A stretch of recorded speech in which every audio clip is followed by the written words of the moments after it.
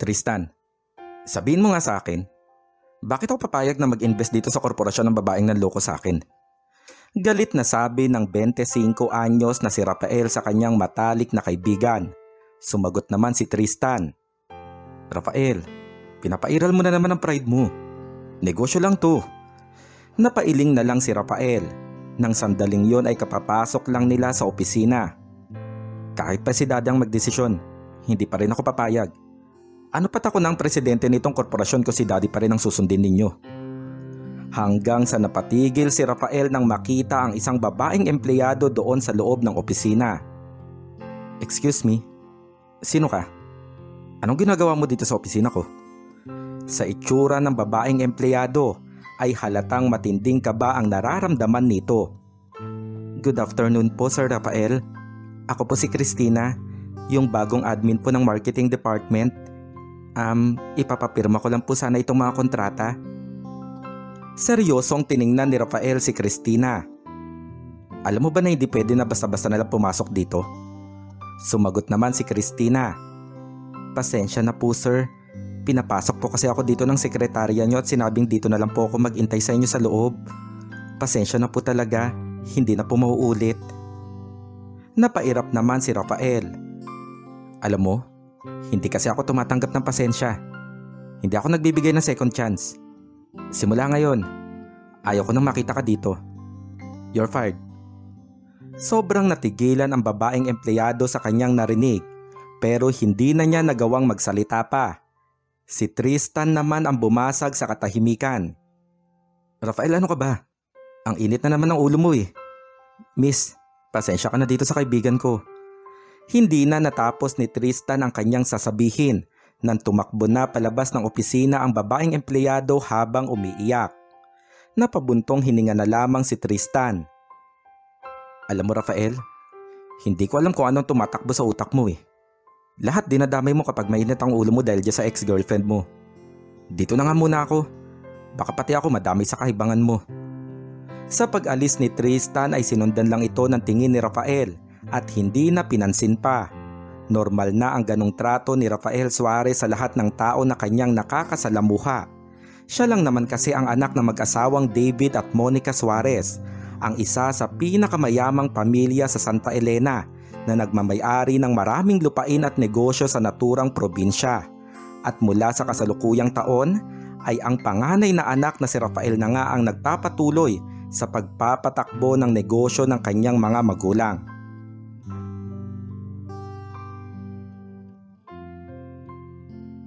Tintin anak, nandyan ka na pala. Kamusta ang unang araw mo sa trabaho?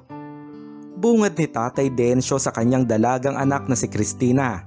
Hindi nakasagot ang dalaga pero nahalata kaagad ng kanyang ama ang lungkot sa mga mata nito hanggang sa napayakap na nga lang si Christina sa kanyang tatay at sa balikat nito ay hagulgol na umiyak ang dalaga.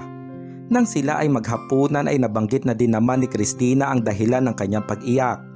Maging ang kanyang pamilya ay nakaramdam din ng lungkot sa kanilang nabalitaan. Hindi kasi inaasahan na sa unang araw pa lang ni Christina sa pagtatrabaho sa Suarez Corporation ay masisisante kaagad siya dito.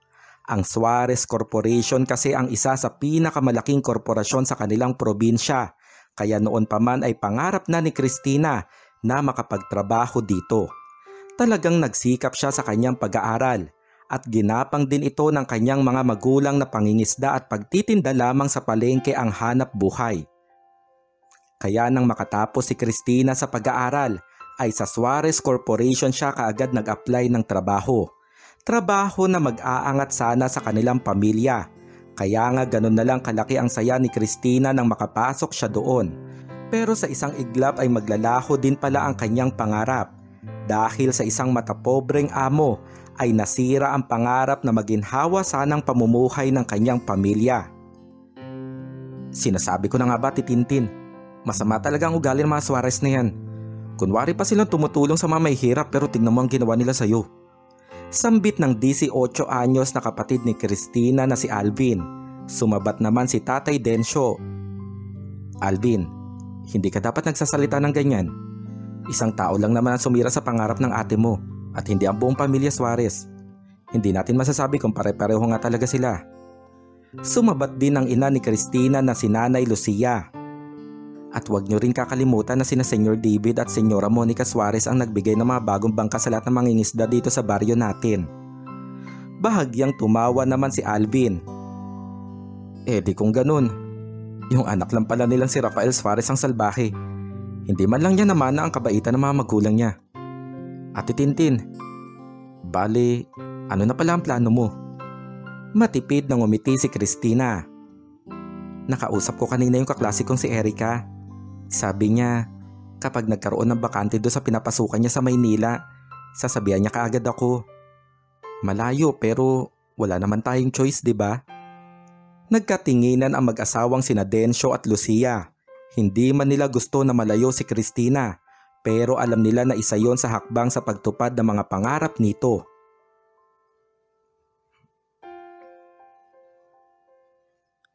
Rafael anak? Ano ba't ka uuwi mo lang at aalis ka na naman? Sambit ni Senyora Monica na ina ni Rafael Suarez. Halata naman na nagmamadali si Rafael ng mga oras na yon. Ma, nagka-problema lang po sa opisina. Babalik lang po ako saglit doon. Sa paglabas ni Rafael ng bahay ay nagkatinginan ang mga magulang nito. Sinabi ko naman sa iyo, masyado pang bata si Rafael para hawakan ng korporasyon.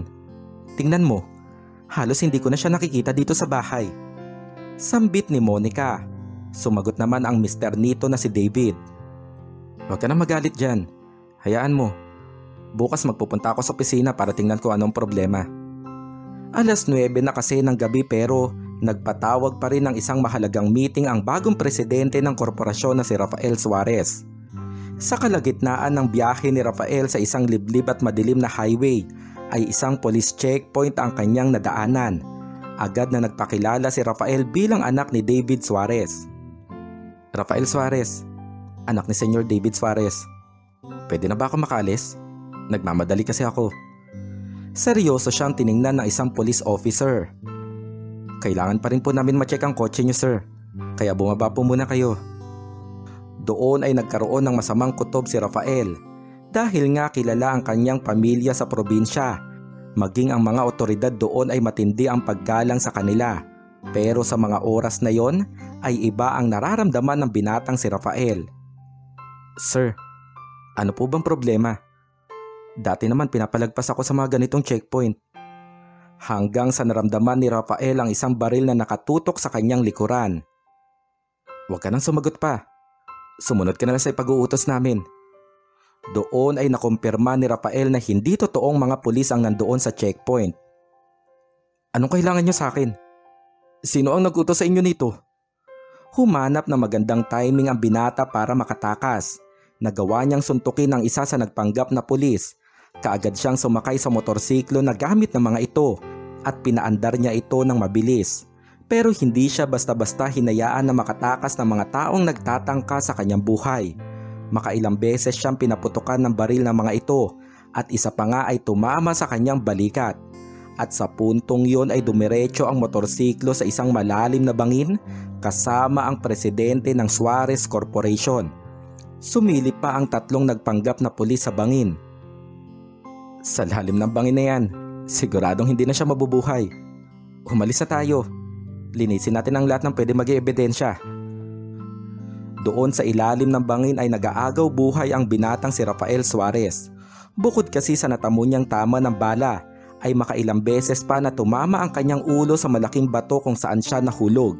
Matinding panghihina ang kanyang nararamdaman. Gustuhin man niyang humingi ng tulong, pero alam niya na walang makakakita sa kanyang kinaroroonan. At ilang minuto nga lang ay naubos rin ang kanyang lakas at tuluyan siyang nawalan ng malay.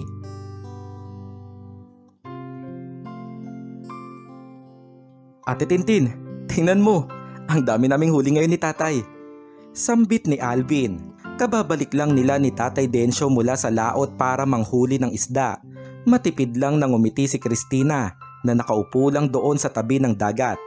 Pabalik na sana sa bahay ang mag-ama pero saglit na napatingin si Tatay Densyo sa kanyang panganay na anak. Agad niya itong nilapitan at naupo sa tabi nito. Tintin anak, alam ko na nalulungkot ka pa rin dahil sa nangyari.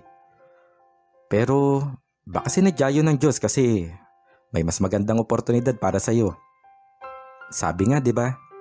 Lahat na nangyayari sa atin, may magandang dahilan. Nagbuntong hininga si Christina.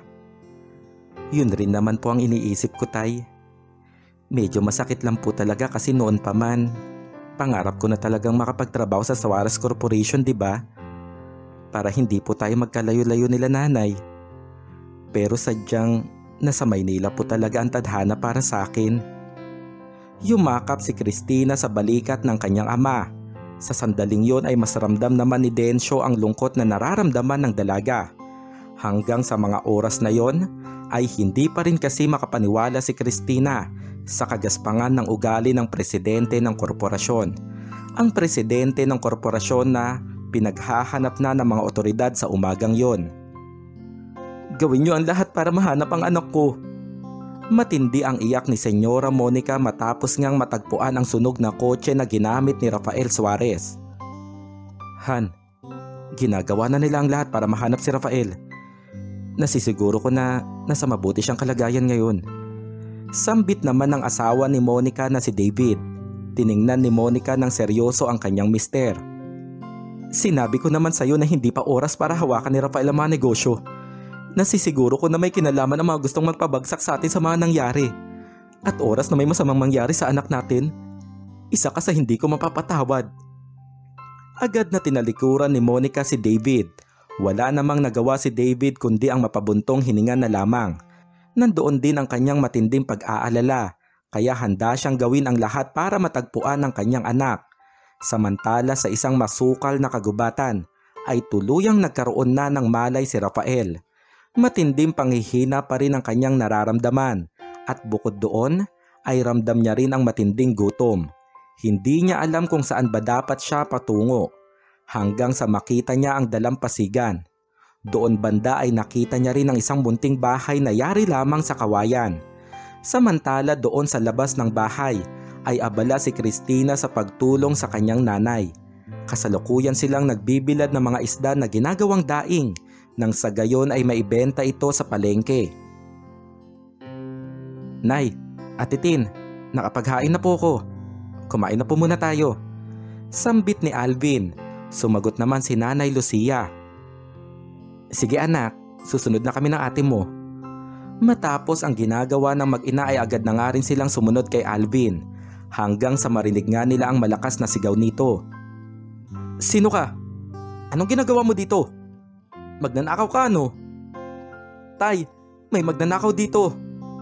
Sa narinig ni na Christina ay agad na nga silang tumakbo para puntahan si Alvin.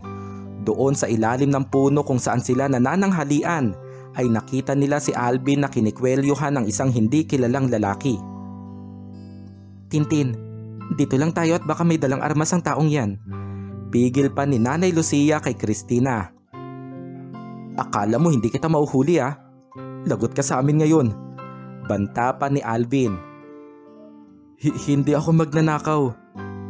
Agad naman na nagsalita si Tatay Densyo. Alvin tama na nga yan.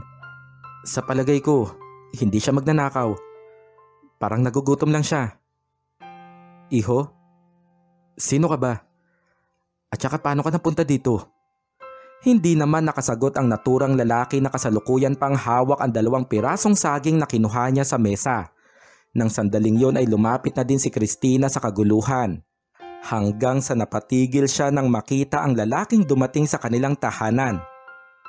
Sir Rafael? A- anong ginagawa mo dito?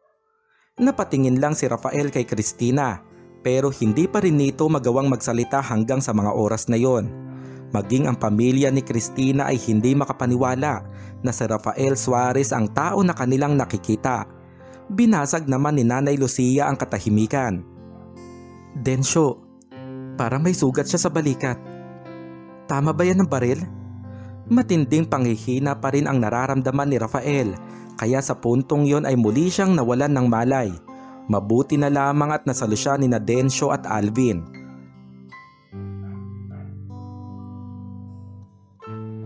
Ate Tin, kung ganun, siya pala ang boss mo na nagtanggal sa'yo sa trabaho. Hayaan mo, Kapag gumaling siya, igaganti kita sa kanya. Sambit ni Alvin habang nandoon sila sa balkonahin ng kanilang bahay. Sumagot naman si Christina. Tumigil ka nga Alvin. Hindi nga tayo nakakasiguro kung mabubuhay pa siya. At saka hindi tayo ganong klase ng tao kahit pa na nakagawa siya ng masama sa atin. Ilang saglit pa ay lumabas na rin mula sa kwarto ang kanilang mga magulang. Natanggal na namin ang bala sa katawan niya. Pero kailangan niya muna magpahinga ng ilang araw. Tinanong namin siya at hindi kanya nakikilala Tintin. Napairap naman si Christina. Tay, paano niya ako maalala? Eh isang araw lang naman ako doon sa korporasyon nila. Isa pa, parang wala namang kinikilalang empleyado ang Rafael Suarez na yan. Para sa kanya, lahat kami utusan lang niya. Sumagot naman si Lucia. Pero ang nakakapagtaka, pati ang sarili niya hindi niya nakikilala. Pati kung tagasan siya at kung sino ang pamilya niya. Napatigil si Christina sa kanyang narinig. Nagsalita naman si Densyo. Ang mabuti pa, bantayan niyo muna siya. Magpupunta ako sa bayan para ipalam sa mga otoridad na nandito sa atin ang anak ng mag-asawang Suarez. Matapos nga nilang mananghalian, ay agad nang dumiretso si Densyo sa bayan, habang ang mag-iina naman ang nagbantay kay Rafael. Mabuti naman at gising ka na. Dinalhan kita ng pagkain. Kailangan mong magpalakas dahil mamaya susunduin ka na dito ng pamilya mo. Sambit ni Christina nang pumasok siya sa kwarto kung nasaan si Rafael Nakatingin lang sa kanya si Rafael. Sinubuan pa nga ni Christina ang binata dahil hirap pa rin itong kumilos. Tintin ang pangalan mo, di ba? Maraming salamat sa pag-aasikaso mo sa akin. Tiningnan ng seryoso ni Christina si Rafael. Mr. Rafael Suarez, hindi mo ba talaga ako nakikilala? Tila napaisip si Rafael habang pinagmamasdan ang dalaga hanggang sa umiling siya. Pasensya na. Wala akong naaalala na kahit na sino. Nagbuntong hininga si Christina. Oo nga pala. May amnesia ka nga pala no? Pero gusto kong ipaalam sa'yo na galing ka sa mayamang pamilya. Naging tauhan mo ko ng isang araw. Pero dahil sa kasamaan mo, tinanggal mo ko sa trabaho. Nasira ang pangarap ko sa buhay at pangarap ko para sa pamilya ko. Pero tingnan mo, kami pa ang tumutulong sa'yo ngayon, di ba? Nagkataon naman na narinig ni Nanay Lucia ang mga sinabi ng kanyang anak. Tintin, hindi ito ang tamang pagkakataon para manumbat ka ng ganyan. Rafael, pasensya ka na sa anak ko. Napairap naman ang dalaga. Ma, ikaw na nga munang magbantay sa kanya. Naiirita kasi ako pag nakikita ko ang pagmumuka niya. Agad rin na lumabas ng kwarto si Christina. Napailing na lamang si Lucia sa inasal ng kanyang anak. Doon naman sa bayan ay nagtungo nga si Tatay Densyo para ipaalam sa otoridad ang kinaroroonan ni Rafael Suarez at doon niya nakita kung gaano kaabala ang mga ito sa paghahanap sa binata. Hindi nakapasok sa presinto si Tatay Densyo dahil sa dami ng tao hanggang sa isang binata ang bumaba mula sa kotse na halatang papasok din sa presinto. Ito ay walang iba kundi ang matalik na kaibigan ni Rafael na si Tristan. Sinubukan ni Tatay Densyo na humingi ng tulong dito. Iho, pwede mo ba ako matulungan? May ire-report lang sana ako sa mga pulis. Sumagot naman si Tristan. Pasensya na po tay, nagmamadali po kasi ako eh. Didiretso na sana sa loob ng presinto si Tristan nang muling magsalita si Tatay Densyo.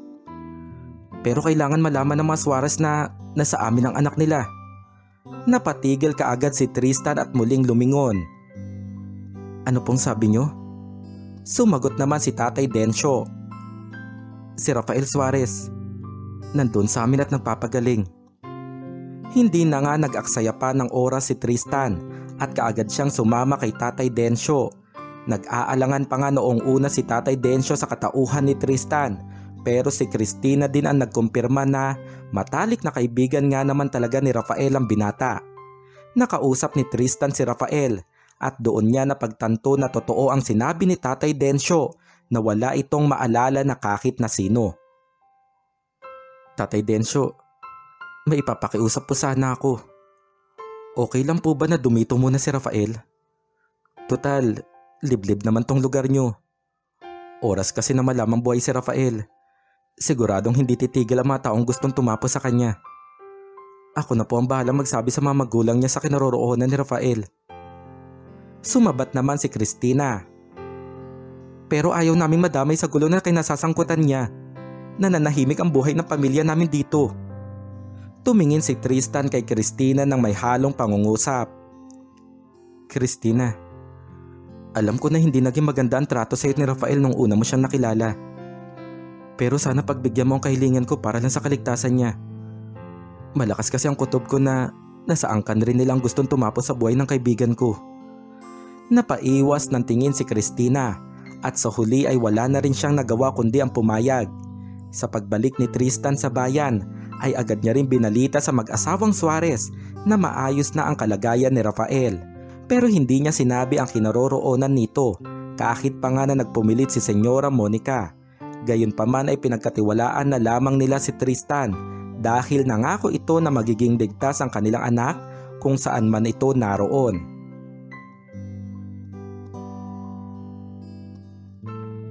Ilang araw na din ang lumipas mula nang kupkupin ng pamilya ni Cristina ang dati niyang amo na si Rafael Suarez hindi man naging maganda ang trato nito sa kanya noon pero tinanggap pa rin niya ito.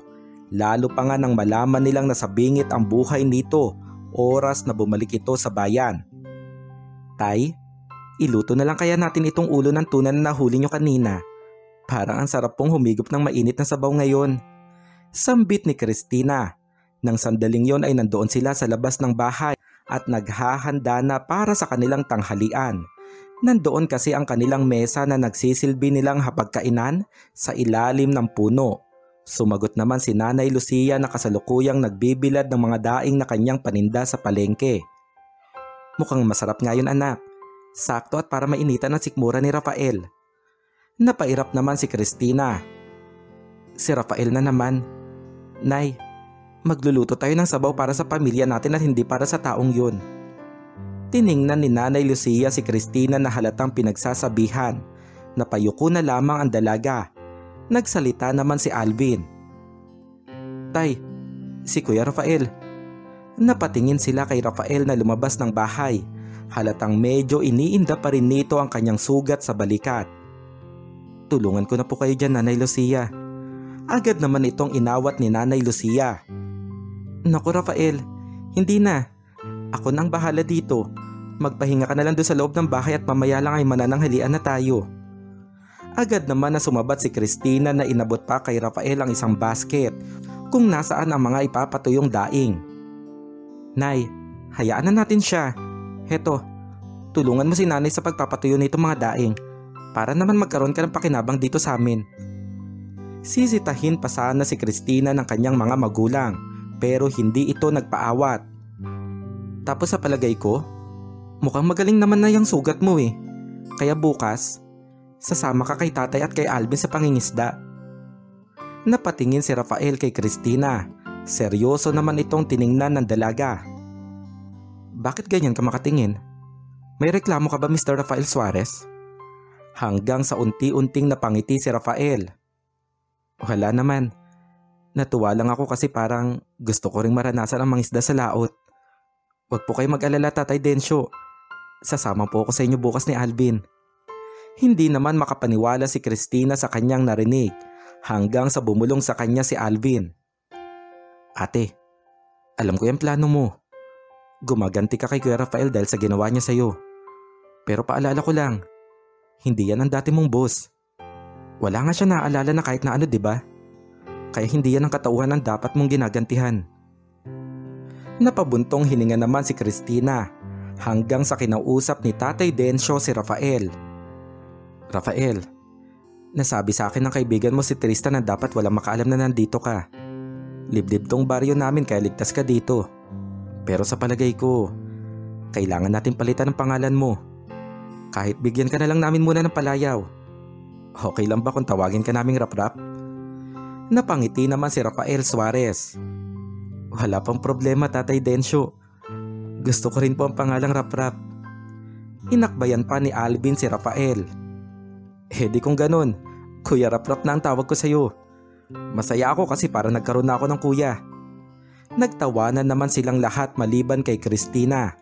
Hindi makapaniwala ang dalaga na sa kabila ng ginawa ni Rafael Suarez ay naging maayos pa rin dito ang pakikitungo ng kanyang pamilya.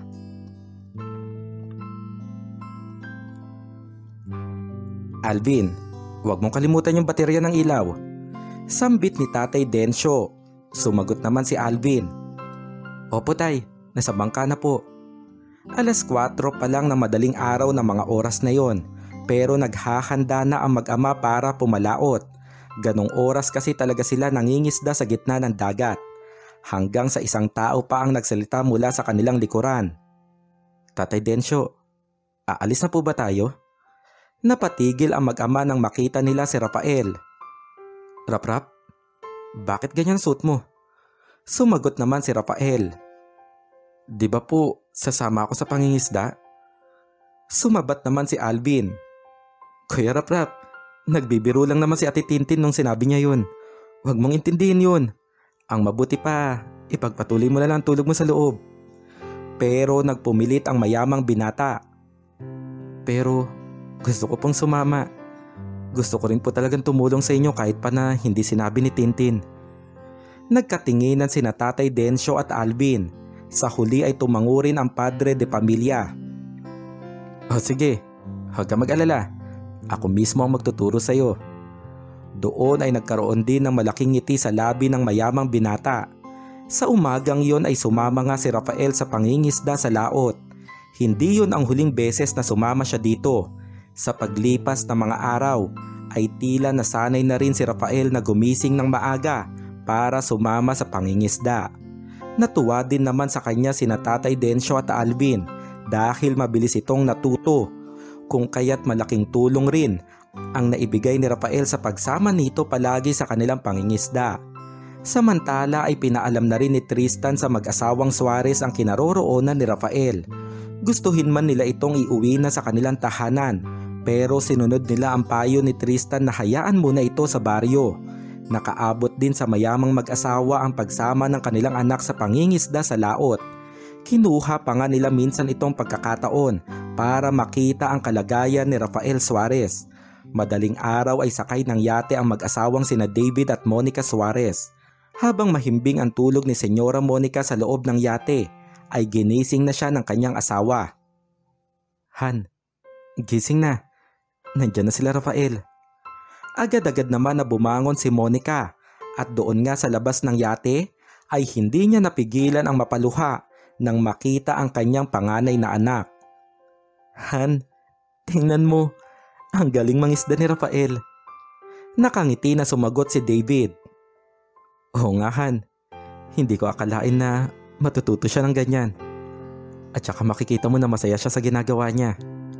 Umakbay pa si David kay Monica habang pareho silang nakatingin sa kanilang anak na nasa laot. Pero ilang minuto lang ay agad na rin silang umalis dahil pasikat na nga ang araw.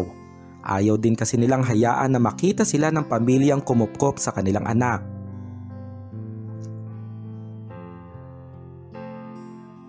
Nay, dumating na po sila tatay. Parang ang dami po nilang nahuli. Sambit ni Christina nang makitang padaong na ang bangka na ginamit ng kanyang ama. Kasama rin ni Tatay Densyo sina Alvin at Rafael na nangisda sa laot. Tay, ang dami po niya na.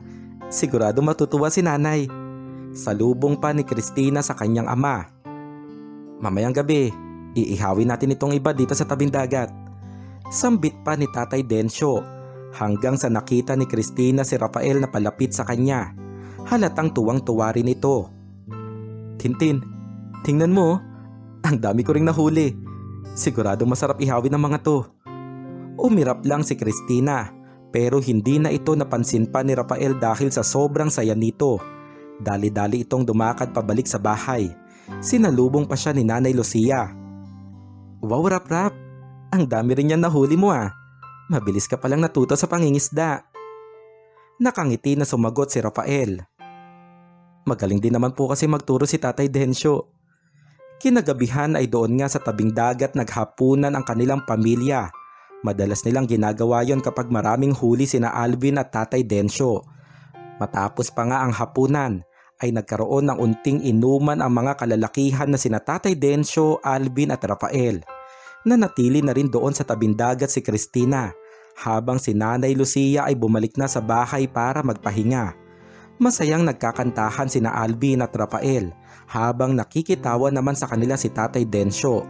Kasalukuyan kasing tinuturuan ni Alvin si Rafael na tumugtog ng gitara. Hanggang sa saglit na napatigil si Rafael nang makitang tahimik lang si Christina na nakaupo hindi kalayuan sa kanilang inuman. Alvin, Tatay Densyo, saglit lang po ah. Pupuntahan ko lang po si Tintin. Kumuha pa ng inihaw na isda si Rafael bago lapitan ang dalaga. Tintin, tikman mo tong inihaw ng lapu-lapu. Ako mismo ang humuli nito. Seryosong napatingin si Christina sa binata pero hindi ito sumagot. Matipid nang umiti si Rafael. Bakit hindi ka sumali sa amin doon nila Alvin? Mahina ang boses ni Christina na sumagot ito. Sige lang, hindi naman ako nagiinom ng alak. Muli pang nagsalita si Rafael. E di kahit makisabay ka na lang sa kantahan namin. Sakto at tinuturuan ako ni Alvin na maggitara. Doon ay napatayo na ang dalaga. Hindi na nga 'di ba?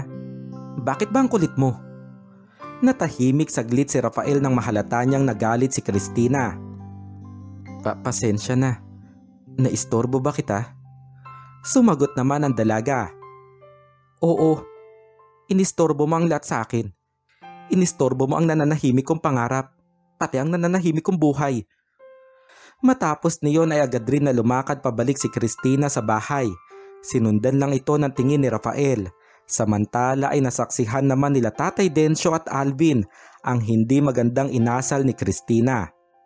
Nagkatinginan ang mag-ama at nakaramdam ng awa para kay Rafael. Tinawag na lang ito ni Alvin. Kuya Raprap, halika na dito. Kumanta na lang ulit tayo. Nakangiti naman na bumalik si Rafael sa inuman pero sa likod ng ngiti na yon ay mahahalata pa rin ang lungkot sa pagkatao nito.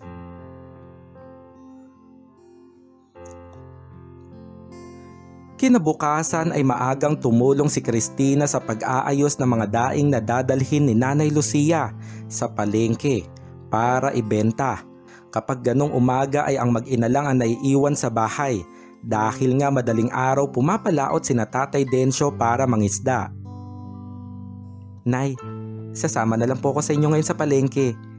Uuwi na lang po ako mamaya para makapagluto ng tanghalian natin. Sambit ni Christina. Nakangiti na sumagot si Nanay Lucia. Ikaw ang bahala.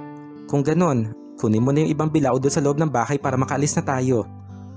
Agad naman na sinunod ni Christina ang utos ng kanyang ina. Sa pagpasok niya sa loob ng bahay ay napatigil siya nang makita ang paglabas ni Rafael sa kwarto. Halatang iniinda pa nito ang sakit ng kanyang ulo. Rafael?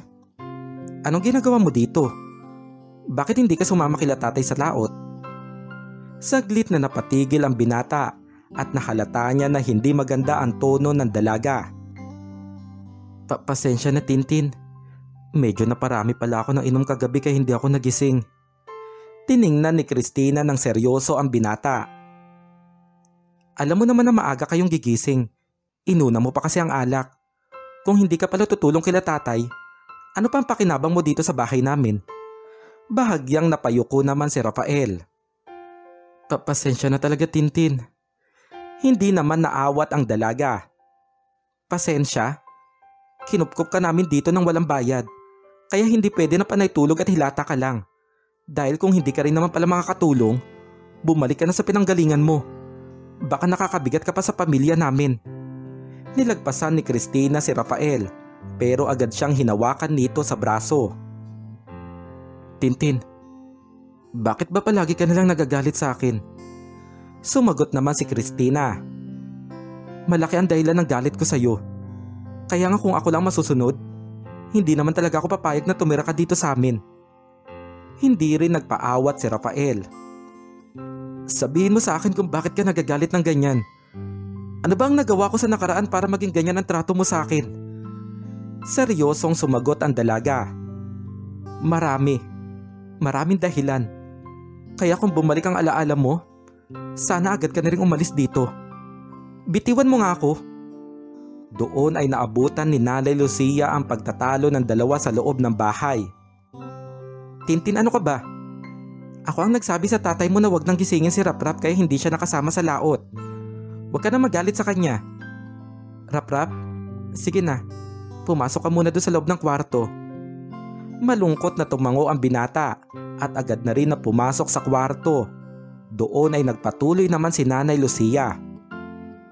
Tintin sumusobra ka na ha. Hindi na tama ang trato mo kay Raprap. Dumaloy naman ang luha ng dalaga. Bakit, Nay? Hindi rin naman tama ang naging trato niya sa akin noon, di ba? Nay, baka nakakalimutan niyo na ang taong yan ang sumira sa pangarap ko. Ang taong yan ang dahilan kung bakit hanggang ngayon nagdurusa tayo sa kahirapan. Doon sa loob ng kwarto ay dinig naman ni Rafael ang mga lumabas sa bibig ni Christina. Hindi man niya ito maintindihan pero tila gusto niya ring magalit sa kanyang sarili habang si Nanay Lucia ay pilit na may pinapaalala sa kanyang anak. Tintin, hindi siya ang gumawa ng masama sa iyo. Sa pagkakataon na to, hindi siya si Rafael Suarez. Siya si Raprap na nangangailangan ng tulong natin. Kung ano man ang nagawa niya sa iyo noon, hindi mo dapat iparanas sa kanya ngayon dahil inosente siya sa pagkakamali ng dati niyang katauhan. Anak, hindi naman tayo masama, di ba? Magkaroon ka naman ng kaunting awa sa kanya. Iba si Rafael Suarez at iba si Raprap. Si Raprap, mabuting tao na parang pamilya na natin. Kaya habang wala ang dati niyang alaala, sana bigyan mo naman siya ng magandang alaala sa katauhan na meron siya ngayon. Hindi naman na nakasagot pa si Christina. Nagbuntong hininga si Nanay Lucia at agad na rin na lumabas ng bahay habang si Christina ay patuloy na umiiyak. Sa pagkakataon na yon ay tila na pagtanto niya rin ang mga salitang binitiwan ni Nanay Lucia. Bandang alas 10 ng tanghali ay mag-isa na nga lang sa bahay si Rafael dahil nga nagpunta na ang mag-ina sa palengke. Sakto at dumating na rin doon sina Tatay Densyo at Alvin. Kuya Raprap, sayang at hindi ka nakasama. Medyo marami pa naman kaming nahuli na isda ni tatay. Masakit pa rin ba ang ulo mo? Tila isang pilit ng ngiti ang namutawi sa binata hindi naman na. Pasensya na talaga kung di ako nakasama. Nahalata naman ni Alvin ang lungkot sa mga mata ni Rafael. Kuya Raprap, ayos ka lang ba? Bakit para malungkot ka? Saglit na nanahimik si Raprap hanggang sa hinarap niya si Alvin at doon na isang seryosong tanong ang kanyang binitiwan. Alvin, ano ba talagang katauhan ko noon? Ano ba ang kasalanan na gawa ko sa pamilya nyo? Napatigil naman si Alvin at hindi ka agad nakasagot. Pero sa huli ay naupo rin siya sa tabi ni Rafael at nilahad dito ang mga bagay na gusto niyang malaman.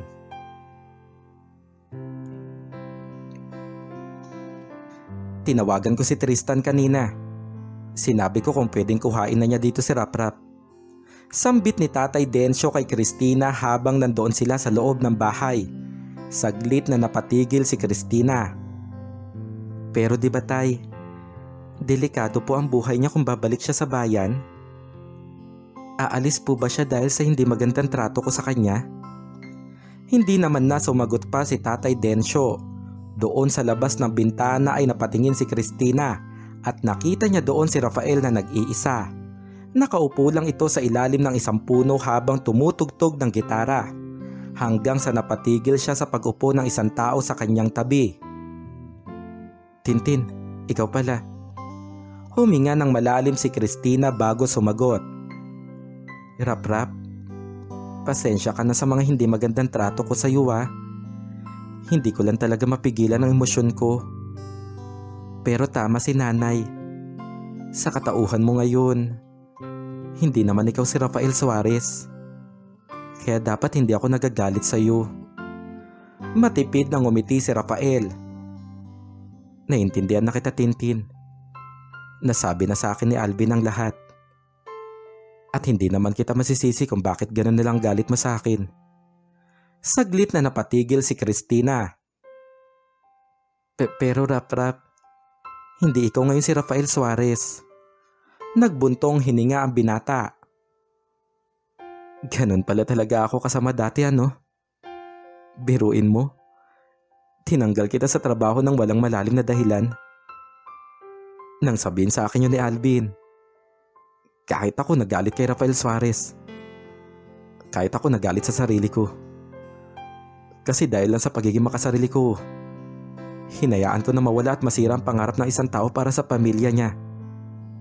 Kahit sino naman magagalit, di ba? Nang sandaling yon ay hindi napigilan ni Christina ang pumatak ang kanyang mga luha Kinuha niya ang isang kamay ng binata. Hindi naman ikaw ngayon si Rafael Suarez. Kaya wala kang kasalanan rap-rap. Bahagyang napayuko si Rafael. Nasa ibang katauhan man ako ngayon. Pero humihinga ako ng tawad sa nagawa ko. Bago man lang ako sunduin mamayang gabi. Masaya ako kung tatanggapin mo ang paghingi ko ng tawad. Lalo pa ngang napaluha si Christina. Kalimutan na natin yun rap-rap. Pero sa totoo lang, naging parte ka na ng pamilya namin. Pwede bang dito ka na lang muna? Kahit makabawi man lang ako sa mga hindi magandang pinakita ko sa iyo. Saglit na napatigil si Rafael at unti-unting napangiti. Hindi mo ko gustong umalis, Tintin? Tumango naman si Christina. Masaya ka naman dito, 'di ba? Kahit paano, masaya naman ang pamilya natin. Kinabigla pa ni Christina nang biglang yumakap sa kanya si Rafael. Masaya ako dito, Tintin. Gustong gusto ko dito eh. Hindi ako aalis kung yun din ang kagustuhan mo. Kung pwede nga lang, hindi na ako bumalik sa dati kong katauhan. Kasi masaya ako sa ganito. Bilang si Raprap, bilang parte ng pamilya nyo. Pinahid ni Rafael ang mga luha ni Christina at doon ay namutawi rin ang ngiti sa labi ng dalaga.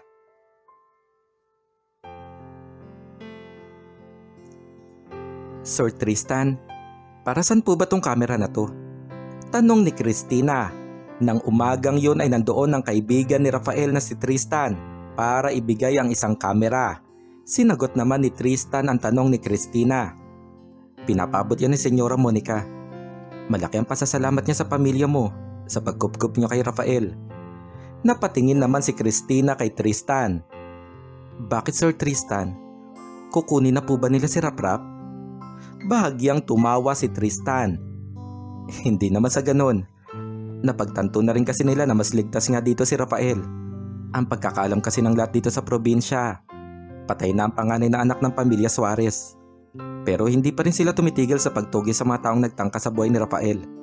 Yang camera na yan. Sana magamit nyo para makuha na ng buhay ni Rafael dito. Gusto kasing makita ng mga magulang niya kung gaano siya kasaya dito sa inyo.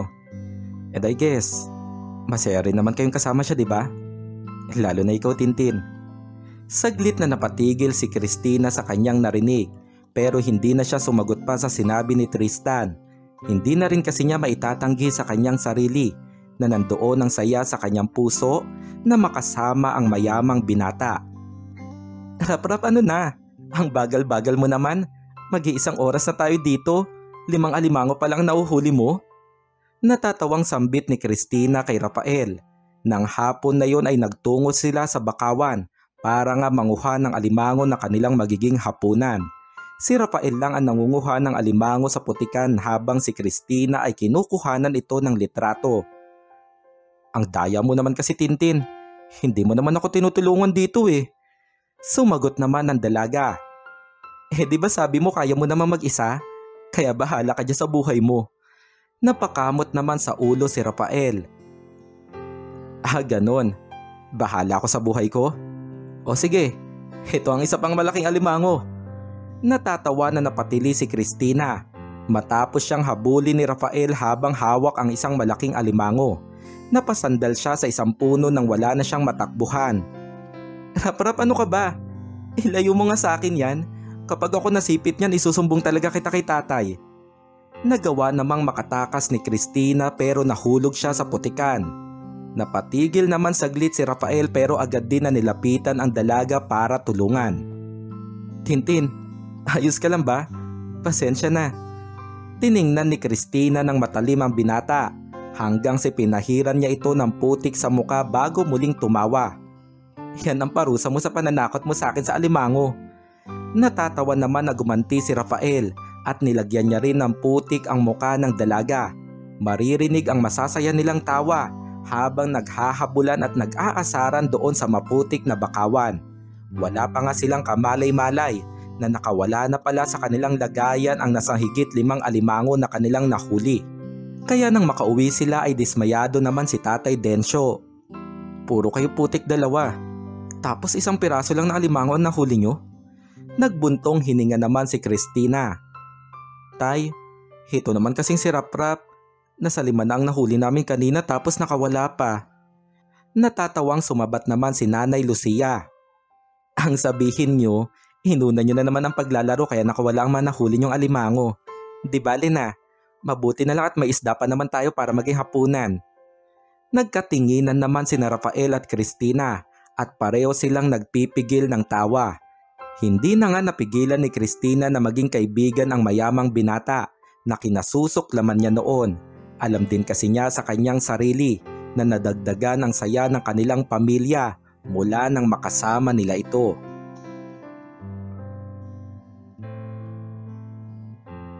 Kaya rap ayos ka lang ba? Lasing ka na yata eh. Nakakaisang bote pa lang tayo. Pang-aasar ni Alvin kay Rafael. Nang gabing yon ay nandoon sila ni Natatay Densyo sa tabing dagat at masayang nag-iinuman. Sumagot naman si Rafael. Hindi ako lasing ah. Medyo inaantok lang talaga ako.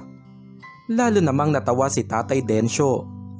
Rap rap, kung inaantok ka na edi matulog ka na. Kami na bahala ni Alvin ang umubos nitong pangalawang bote. Napakamot naman sa ulo si Rafael. Hindi man kasi niya aminin pero ramdam na rin talaga niya ang kalasingan ng mga oras na yon. Samantala doon sa loob ng bahay ay gising pa si Christina. Kasalukuyan siya nagbabasa ng kanyang paboritong libro. Tintin, kung hindi ka pa matutulog, ikaw nang bahalang maghintay sa tatay mo at kinaraprap. Maaga pa kasi akong gigising bukas. Sambit ni Nanay Lucia. Sumagot naman si Christina. Sige po Nay, ako na po ang bahala maghintay sa kanila. Nagpatuloy sa pagbabasa ng libro si Christina hanggang sa napatigil siya nang makarinig siya ng kalabog doon banda sa balkonahe. Sa pagsilip niya doon ay nakita niyang nahulog pala si Raprap mula sa maliit na baitang ng hagdan paakyat sa kanilang bahay. Raprap? Naku, ayos ka lang ba? Ano ba nangyari sa'yo? Agad na nilapitan ni Christina ang binata. Nakangiti na sumagot si Rafael. Ayos lang ako. Nakakainis naman tong hagdan. Parang bigla na lang naging kama sa paningin ko. Napakunot ang noo ng dalaga ano ba sinasabi mo rap-rap? Alam mo, lasing ka na. Dapat kasi hindi ka na nagiinom ng ganyan. Tingnan mo tuloy ang nangyari sa'yo. Bumangon ka na nga. Tinulungan pa ni Christina ang binata na makabangon at inalalayan na makapasok sa bahay. Alam mo Tintin, ang swerte-swerte na magiging asawa mo. Sana ako na lang magiging asawa mo no? Marahang tinulak naman ni Christina si Rafael sa sofa na gawa sa kawayan alam mo, hindi kita gusto magi asawa kasi ayaw ko sa lahat ay yung lalaking lasenggo gaya mo. Hinatak pa ni Rafael ang braso ng dalaga. Bakit? Hindi naman talaga ako lasing tintin. Bahagyang tumawa si Christina. Hindi ka talaga lasing sa lagay na yan? Eh halos hindi ka na nga makapagsalita ng maayos. Teka nga at kukuha kita ng tubig. Habang nakuha ng tubig sa kusina si Christina, ay patuloy naman sa pagsasalita ng kung ano-ano si Rafael. Tintin, bakit naman ayaw mo ako mag-iasawa? Sabi ni Nanay Lucia, wala ka naman daw boyfriend. Kung ganon, edi ako na lang maging boyfriend mo. Bagay naman tayo di ba?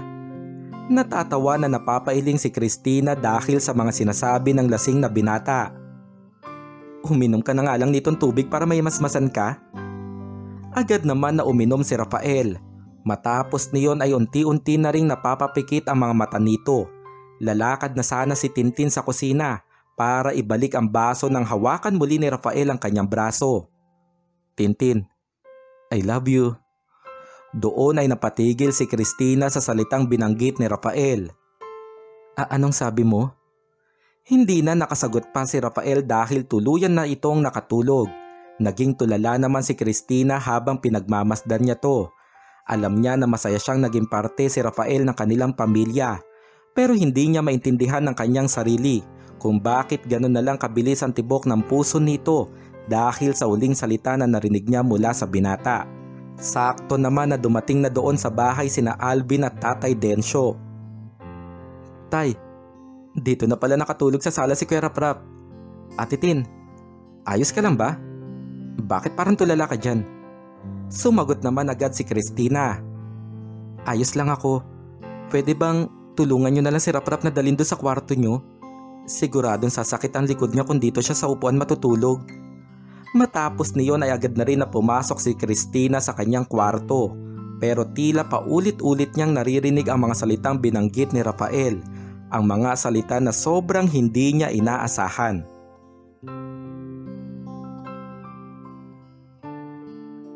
Tintin anak, bakit hindi ka sumali kina Alvin at Raprap? Tanong ni Tatay Densyo matapos niyang makita si Christina na nakaupo lang sa buhanginan. Nang sandaling yon ay nakatanaw lang ang dalaga kina Alvin at Rafael na kasalukuyang naliligo sa dagat. Sige lang po tay, hindi ko po gustong mag-swimming ngayon. Bahagyang tumawa si Tatay Densyo at naupo sa tabi ng dalaga. Bakit ba parang ang lalim na iniisip mo? Napaisip si Christina hanggang sa huminga siya ng malalim. Tay, kapag lasing ba ang isang tao, totoo bang lumalabas sa bibig niya? Sumagot naman si Tatay Densyo. Depende anak. May mga tao kasi nakapaglasing. Kung ano nung lumalabas sa bibig nila na hindi nila alam. At paggising nila kinabukasan, wala na sila maalala. Bakit mo ba natanong? Nagbuntong hininga si Christina. Wala po tay. Dito na po muna ako. Lalakad na sana pabalik sa bahay si Christina nang saktong umahon naman sa dagat si Rafael. Tintin, tara na't mag-swimming. Masayang makipaglaro sa alon. Saglit na napatingin si Christina sa binata. Di bale na, kayo na lang ni Alvin.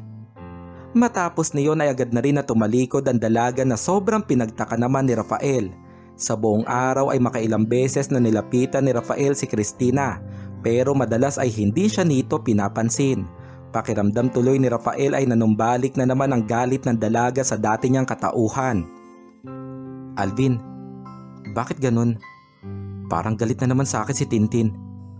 Kanina tinulungan ko siya sa pagluluto. Makailang beses ko siya kinausap pero hindi niya ako pinapansin.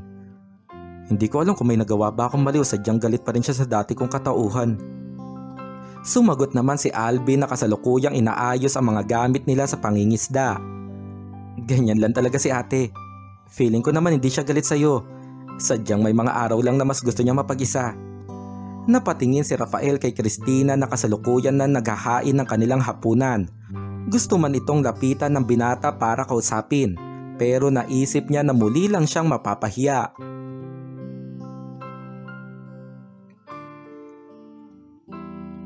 Tintin, nasan ka ba? Patuloy sa paghahanap sa tabing dagat si Rafael matapos siyang utusan ni Nanay Lucia na hanapin ang dalaga. Alas 9 na kasi ng gabi ng mga oras na yon pero wala pa rin doon sa bahay si Christina. Hanggang sa nakita ni Rafael ang dalaga na tila tinutulak ang bangka na ginagamit nila sa pangingisda. Tintin, anong ginagawa mo? San ka pupunta? Patuloy naman si Christina sa pagtulak sa bangka. Wala ka nang pakialam. Bumalik ka na doon sa bahay rap-rap. Sinubukan pang pigilan ni Rafael si Christina. Pero delikado ang pumalaot ng gantong gabi. Baka kung mapano ka. Ano ba pumapasok dyan sa isip mo? Tiningnan ni Christina ng seryoso ang binata. Pwede bang hayaan mo na lang ako? Hindi ako mapapahamak dahil kabisado ko ang dagat. At saka payapa naman ang tubig kaya ligtas ako kung papalaot man ako na mag-isa. Napakamot naman sa inis si Rafael. Kahit pa, ano ba nangyayari sa'yo? Doon na lang tayo sa bahay. Kanina ka pa hinahanap ni Nanay Lucia. Sa huli ay hindi na napigilan ni Rafael si Christina at tuluyan nitong nadala sa tubig ang bangka. Walang nagawa si Rafael kaya agad na rin siyang sumakay sa bangka bago pa ito makaalis. Kung hindi kita mapipigilan, edi sasamahan na lang kita. Naiinis na sumagot ang dalaga. Ano ba naman rap-rap? Gusto ko nga mapag-isa ba? Diba? Bumaba ka na at bumalik ka na doon sa bahay. Nagmatigas naman si Rafael kaya wala na ring nagawa si Christina kundi ang hayaan na sumama ito sa kanyang pupuntahan. Doon sa gitna ng dagat ay hininto ni Christina ang bangka. Sobrang namangha naman si Rafael sa kanyang nakita. Wow Tintin, ang ganda naman dito. Tingnan mo, parang ang lapit natin sa mabitwin. Sobrang liwanag ng langit. Mabuti na lang at sumama pala ako sa'yo dito. Tuwang-tuwa si Rafael sa ganda ng paligid. Sa sobrang liwanag kasi ng kalangitan ay tila kumikinang na rin ang payapang tubig ng dagat. Siguro, madalas ka magpunta dito na mag-isa no? Sobrang ganda talaga Tintin. Hanggang sa napatingin si Rafael kay Christina at nakita niyang seryoso lang itong nakatingin sa kanya. Tintin, ayos ka lang ba? Bakit parang hindi ka masaya? Nanatili naman ang mga mata ni Christina sa binata. Rap-rap, wala ka bang naaalala sa mga sinabi mo sa akin kagabi habang lasing ka? Napakunot ang noo ni Rafael at halatang napaisip. Sinabi ko? May nasabi ba ako kagabi? Doon ay hindi na napigilan ni Christina ang pagpatak ng kanyang mga luha. Wala ka ba talaga naaalala na kahit na ano? Sinasabi ko na nga ba't lasing ka lang talaga? Nagbuntong hininga si Rafael. Pasensya ka na Tintin. Pasensya ka na kung may nasabi man akong hindi maganda kagabi. Wala talaga akong maalala eh. Maliban doon sa sinabi ko na gusto kita mag-iasawa. Mabilis na napaangat ang mga mata ni Christina sa kanyang narinig. Nagpatuloy naman si Rafael. At saka doon sa sinabi ko na mahal kita. Unti-unting napangiti ang dalaga. Naalala mo ang sinabi mong yun? Tumango naman si Rafael. Bakit ko naman makakalimutan yun? Eh yun naman kasi talaga nararamdaman ko. Sa sobrang tuwa ni Christina ay hindi niya napigilan na mapayakap na mahigpit sa binata. Sa pagtama ng kanilang mga mata ay namutawi ang ngiti sa labi ni Christina. Unti-unti ring napangiti si Rafael. Teka, anong ibig sabihin ng ngiti na yan, Tintin? Ibig sabihin ba, masaya kang malaman na mahal kita? Hinawakan ni Christina ang mga kamay ng binata at tumango siya. Akala ko kasi hindi mo maalala. Rap-rap, gusto rin naman kita eh. Katulad ng nararamdaman mo. Mahal rin kita. Lalo pa nga lumaki ang ngiti ni Rafael sa kanyang narinig. Ibig sabihin, Pwede na kita mag-iasawa? Bahagyang tumawa si Christina habang may luha sa mga mata. Bakit asawa agad? Masyado ka naman nagmamadali. Pwede bang girlfriend lang muna? Napaluha rin si Rafael sa sobrang tuwa. Oo naman. Gustong gusto ko Tintin. Simula ngayon, girlfriend na kita. Hindi pa nga inaasahan ni Christina nang bigla siyang hatake ni Rafael at agad na hinalikan sa labi. Matamis ang ngiti nilang pareho habang nakatitig ang mata sa isa't isa. Unti-unti ay muling naglapat ang kanilang mga labi. Naging mapangahas ang naturang halik at hindi napigilan ni Rafael na isa-isang alisin ang mga damit ng dalaga. Wala namang pagpalag na ginawa si Christina. Dahan-dahan nilang hiniga ang mga walang saplot nilang katawan doon sa lapag ng bangka bago muling naglapat ang kanilang mga labi. Sa gitna ng tahimik na dagat, sa ilalim ng maliwanag na kalangitan ay dinaos ng dalawang tao ang isang mainit na kaganapan, ang kaganapan na nagpadama sa isa't isa ng mainit na pagmamahalan.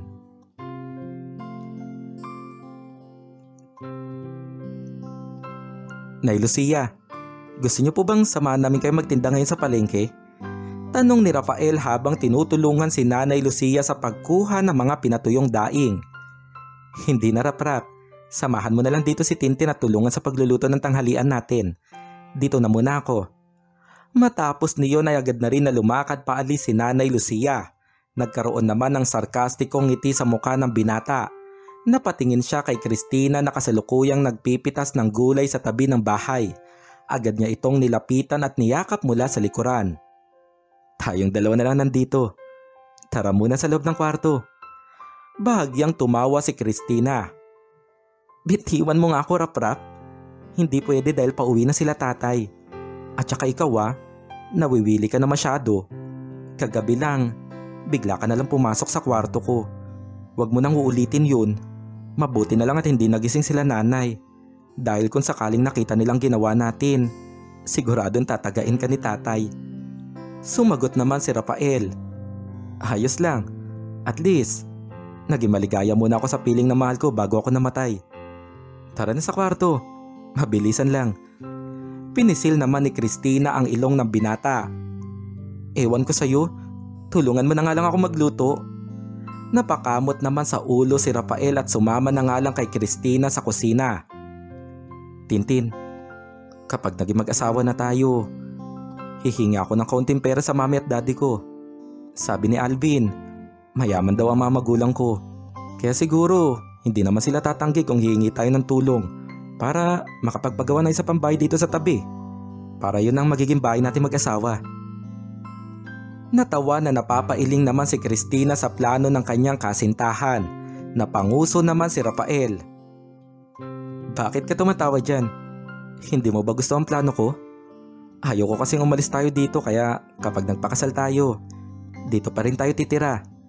Kasama si Tatay Densyo at Nanay Lucia. Doon ay tila unti-unting nawala ang ngiti sa labi ng dalaga. Paano ang pamilya mo, Rap-Rap? Paano ang dati mong katauhan? Handa ka ba talaga na talikuran yun para sa akin? Naging seryoso din naman ang mga mata ng binata. Maintindihan naman siguro nila ako. At saka, bobo naman tayo ng sarili nating pamilya, di ba? Nagbuntong hininga si Christina. Nasasabi mo lang yan ngayon kasi nasa katauhan ka ni Rap Rap. Pero paano kung bumalik ang dati mong alaala? Kaya hindi natin masasabi ang hinaharap. At isa ang bagay na yun sa nagbibigay ng takot sa akin. Rap Rap natatakot ako na mawala ka. Hinawakan ni Rafael ang mga kamay ni Christina at tinangnan ito sa mata. Kahit naman ako nababahala kung mangyari man yun. Pero may isa lang sana akong pakiusap Tintin. Oras na bumalik ako sa dati kong katauhan. Sana hindi mo pa rin ako iwanan. Gusto ko na gumawa ka ng paraan para maalala ko yung saya na naranasan ko dito. Gusto ko na gumawa ka ng paraan para ipaalala sa akin kung gaano tayo kasaya at kung gaano natin kamalang isa't isa. Pumatak ang mga luha ni Christina at mahigpit siyang yumakap kay Rafael. Sa naturang yakap ay hindi maitatanggi na pareho nilang nararamdaman ng takot. Ang takot para sa kanilang hinaharap. Iho, may nakapagsabi sa amin na may kinupkop daw kayong lalaki dito sa inyo na nagngangalang Rafael Suarez. Napatigil si Alvin sa kanyang ginagawa nang dumating doon sa kanilang silong ang nasa higit limang kalalakihan. Bakit po? Sino po kayo?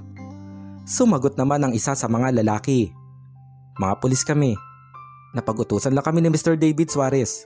Nasunduin na dito sa inyo ang anak niya. Doon ay nakahinga ng maluwag si Alvin. Kung ganun, mga tauhan pala kayo ng pamilya ni Raprap. Maupo po muna kayo. Kasama niya po ang ate ko at may puntahan lang po sila saglit. Pauwi na rin po sila dito. Sakto naman at dumating na rin doon sa bahay si Tatay Densyo. Alvin, sino mga yan? Sumagot naman si Alvin. Tay, mga tauhan po sila ng mga Suarez. Pinapasundo na po kasi si Raprap. Doon ay matindi naman ang paghihinala ni Tatay Densyo. Imposible. Hindi mo dapat silang pinatuloy Alvin. Nasabi ni Tristan na sila mismo magsusundo kay Raprap dito sa atin. Oras na maging maayos ang lahat sa bayan. Napatigil naman si Alvin at matinding kaba ang kanyang naramdaman. Nang mga oras na yon ay naglalakad naman na pabalik sina Rafael at Christina mula sa pagkuha ng alimango sa bakawan. Magkahawak pa ang kanilang mga kamay. Siguradong matutuwa si nanay kapag nakita itong mga nahuli natin. Gumagaling ka na sa paghuli ng alimango, Raprap. Bahagyang tumawa naman ang binata. Paanong gumagaling? Eh nasipit nga ako kanina. Mabuti na lang at hindi naputol tong daliri ko. Natawa na lang din si Christina sa sinabi ng binatang kasintahan hanggang sa napatigil silang pareho nang makita ang mga kalalakihan doon sa labas ng bahay. Tila may ka na naramdaman si Rafael. Rap-rap, ayos ka lang ba? Bakit parang nanginginig ka? Sumagot naman ang binata. Hindi ko alam Tintin. Muling tumingin si Christina sa mga kalalakihan na kasalukuyang humihigop ng kape na bigay ni Alvin. Naku, magtinapay na rin po kayo habang naghihintay. Sambit ni Alvin. Nang mga oras na yon ay malakas na rin ang kutob ni Alvin na hindi tauhan ng pamilya Suarez ang mga kalalakihan na naroon. Hawak ni Alvin ang isang kaldero na puno ng mainit na tubig hanggang sa nakita ng isa sa limang lalaki sina Christina at Rafael. Ayun siya! Nandun si Rafael Suarez. Tatayo na sana ang mga kalalakihan para habulin si Rafael pero agad na sinaboy ni Alvin sa mga ito ang isang kaldero ng mainit na tubig. Ati Tintin, Kuya Raprap, tumakbo na kayo.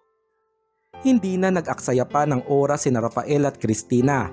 Agad silang tumakbo nang makitang palapit sa kanila ang mga kaaway. Tintin tulungan mo ko, itulak natin tong bangka. Nagtulong sila para madala sa tubig ang bangka at sinakyan nila ito para makatakas. Pero isang rubber boat din ang sinakyan ng mga kalaban para sila ay habulin.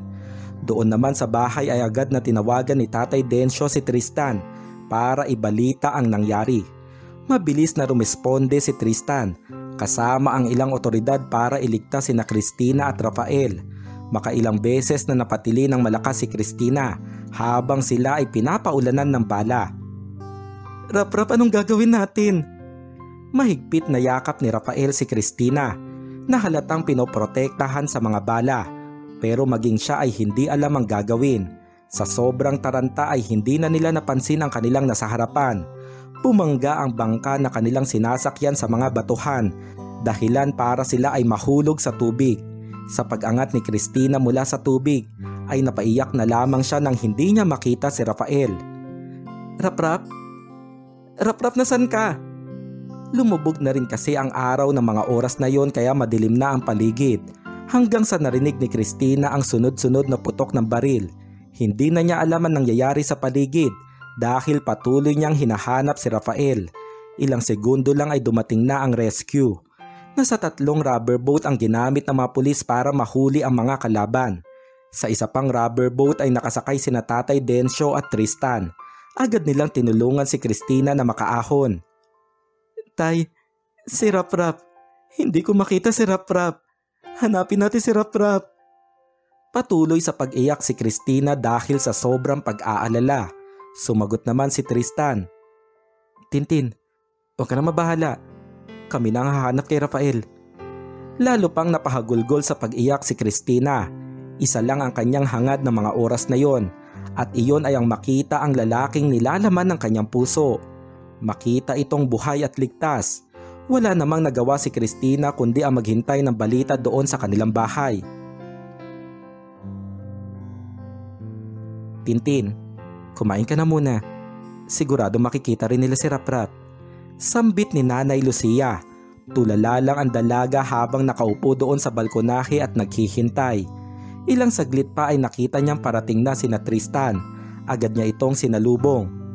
Sir Tristan, may balita na po ba kay Raprap? Matipid nang umiti si Tristan. Maayos na ang kalagayan ni Rafael. Nakita namin siya doon sa gitna ng dagat na palutang-lutang. Mabuti na lang at nagawa niyang kumapit sa isang tabla mula sa nasirang bangka. Sa ngayon, dinala na siya sa ospital. Napaluha naman si Christina Pwede ko na ba siyang makita? Gusto ko lang siyang kamustahin. Nagbuntong hininga si Tristan. Pasensya na Tintin. Pero nagdesisyon si Senyora Monica na hindi muna nila hayaan na makalapit ang kahit na sino kay Rafael habang nandun siya sa ospital. Pero huwag ka mag-alala. Palagi akong tatawag para magbigay ng bagong balita. Kahit paano ay nakahinga na rin na maluwag si Christina pati na rin ang kanyang pamilya. Kapag nagising siya, sabihin mo na ayos lang din kami at agad namin siyang bibisitahin doon. Tumango naman si Tristan. Matapos niyon ay agad na rin itong umalis para bumalik sa bayan kung saan dinala ang walang malay na si Rafael Suarez.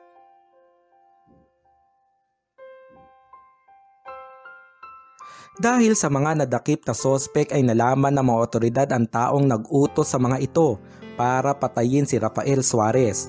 Ito ay ang tsuhi ni Rafael na si Ernesto Suarez, isa sa mga nagbalak noon na makuha ang korporasyon sa kanilang pamilya. Doon naman sa ospital kung saan dinala si Rafael ay labis ang saya ng mag-asawang sina Monica at David nang magkaroon na ng malay ang kanilang anak. Nang mabalitaan ito ni Tristan ay agad rin siyang nagpunta sa ospital para makita ang kanyang matalik na kaibigan. Rafael, mabuti naman at nagising ka na. Matagal pala talaga mamatay ang masamanda mo ano? Biro pa ni Tristan. Umirap lang si Rafael at hindi sumagot.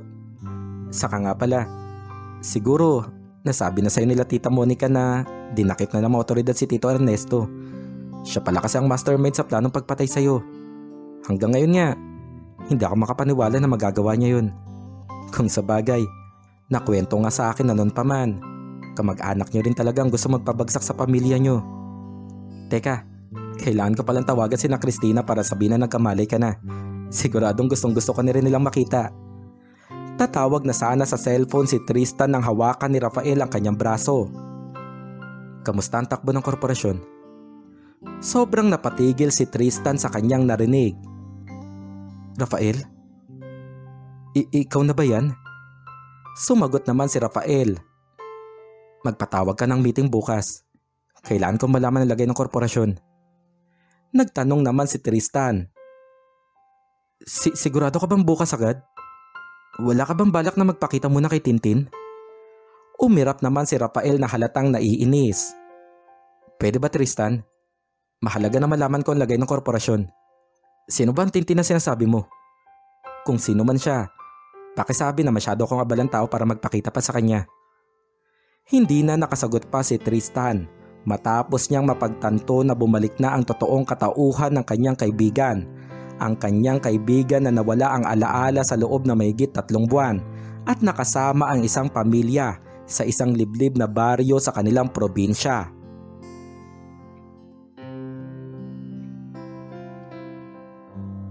Doon sa opisina ni Rafael Suarez ay nakaupo lang mag-isa si Tatay Densyo habang naghihintay. Hanggang sa pumasok na nga rin doon ang tao na nais niyang makita. Kasama ni Rafael ang sekretarya nitong si Elena. Napatigil naman si Rafael nang makita ang kanyang bisita. Napakunot ang kanyang noo na halatang nagtataka. Malaki naman ang ngiti ni Tatay Densyo. Rap Rap, kamusta ka na? Ilang segundo pa bago sumagot ang mayamang binata. Mabuti naman po. May kailangan po ba kayo sa akin? Hindi naman nakasagot si Tatay Densyo hanggang sa nagsalita na ang sekretarya na si Elena. Sir Rafael, si Sir Tristan po ang nagpatuloy sa kanya dito. Gusto niya lang daw po kayo makita. Si Tatay Densyo po kasi yung kumupkup sa inyo nung ilang buwan po kayo nawala. Sumabat naman si Tatay Densyo Rap-rap, hindi mo na ba ako naalala? Sumagot naman ang binata. Pasensya na po. Wala po kasi talaga ako maalala. Pero kung kayo man po ang kumupkup sa akin nung nawala ako, maraming salamat po. Elena, pakiabot ngayon cheque sa mesa ko. Agad na pinirmahan ni Rafael ang cheque na inabot nito kay Tatay Densyo. Tanggapin niyo po to. Maraming salamat po sa pagtulong sa akin. Kaya sana makatulong din ang pera na to para sa'yo at sa pamilya mo. Elena, pakiatid na lang si tatay palabas ng opisina. Tay, pasensya na po. Marami pa po kasi akong trabaho. Papatid ko na lang po kayo sa sekretarya ko pababa ng building. Hindi na nakasagot pa si Tatay Densyo pero mahahalata ang lungkot sa mga mata nito matapos siyang hindi maalala ng binata na tinuring na rin niyang anak sa loob ng ilang buwan na nakasama niya ito. Nang makauwi si Tatay Densyo sa kanilang bahay ay hindi niya alam kung paanong ibabalita sa kanyang pamilya ang nangyari. Tuwang-tuwa naman si Alvin nang makita ang tseke. Kalahating milyon? Tay mayaman na tayo. Pwede na natin pagawa tong bahay natin sa laki nitong pera. Ang bait talaga ni Kuya Rap Nakangiti naman na nagtanong si Christina. Balitay, ano na po ang sabi niya? Kamusta na po siya? Dapat kasi sinama niyo na lang po ako para makapagkamustahan kami. Sumagot naman si Tatay Densyo. Hindi kami masyado nakapag-usap kasi Abala siya sa trabaho niya. At sa palagay ko, kahit pa na sumama ka, hindi rin niya tayo mabibigyan ng oras. Napakunot ang noo ng dalaga. Tay, ano pong ibig niyo sabihin? Nagbuntong hininga si Tatay Densyo. Hindi na siya si Raprap. Siya na ulit si Rafael Suarez. At hindi na niya tayo naaalala. Unti-unting nawala ang ngiti sa labi ni Christina. Pe pero, imposible po yun tay. Kung hindi man niya tayo naaalala, sana nagkwento po kayo sa kanya. Tay gusto ko po siya makausap. May usapan po kami ni Raprap. At sa sinabi niyo, ito na ang pagkakataon para tuparin ko yung nag-iusapan namin. Sumagot naman si Tatay Densyo. Tintin tama na. Kahit paanong paliwanag mo sa kanya, hindi niya tayo maaalala. Nangilid naman ang mga luha ni Christina. Lalakad na sana palabas ng bahay si Tatay Densyo pero saglit niya pang hinarap ang kanyang anak. Saka nga pala, nasabi sa akin ng sekretarya ni Rafael na pwede ka bumalik sa trabaho mo doon sa korporasyon kung gugustuhin mo. Umiwas ng tingin si Christina at doon ay hindi na rin napigilan na bumagsak ang kanyang mga luha.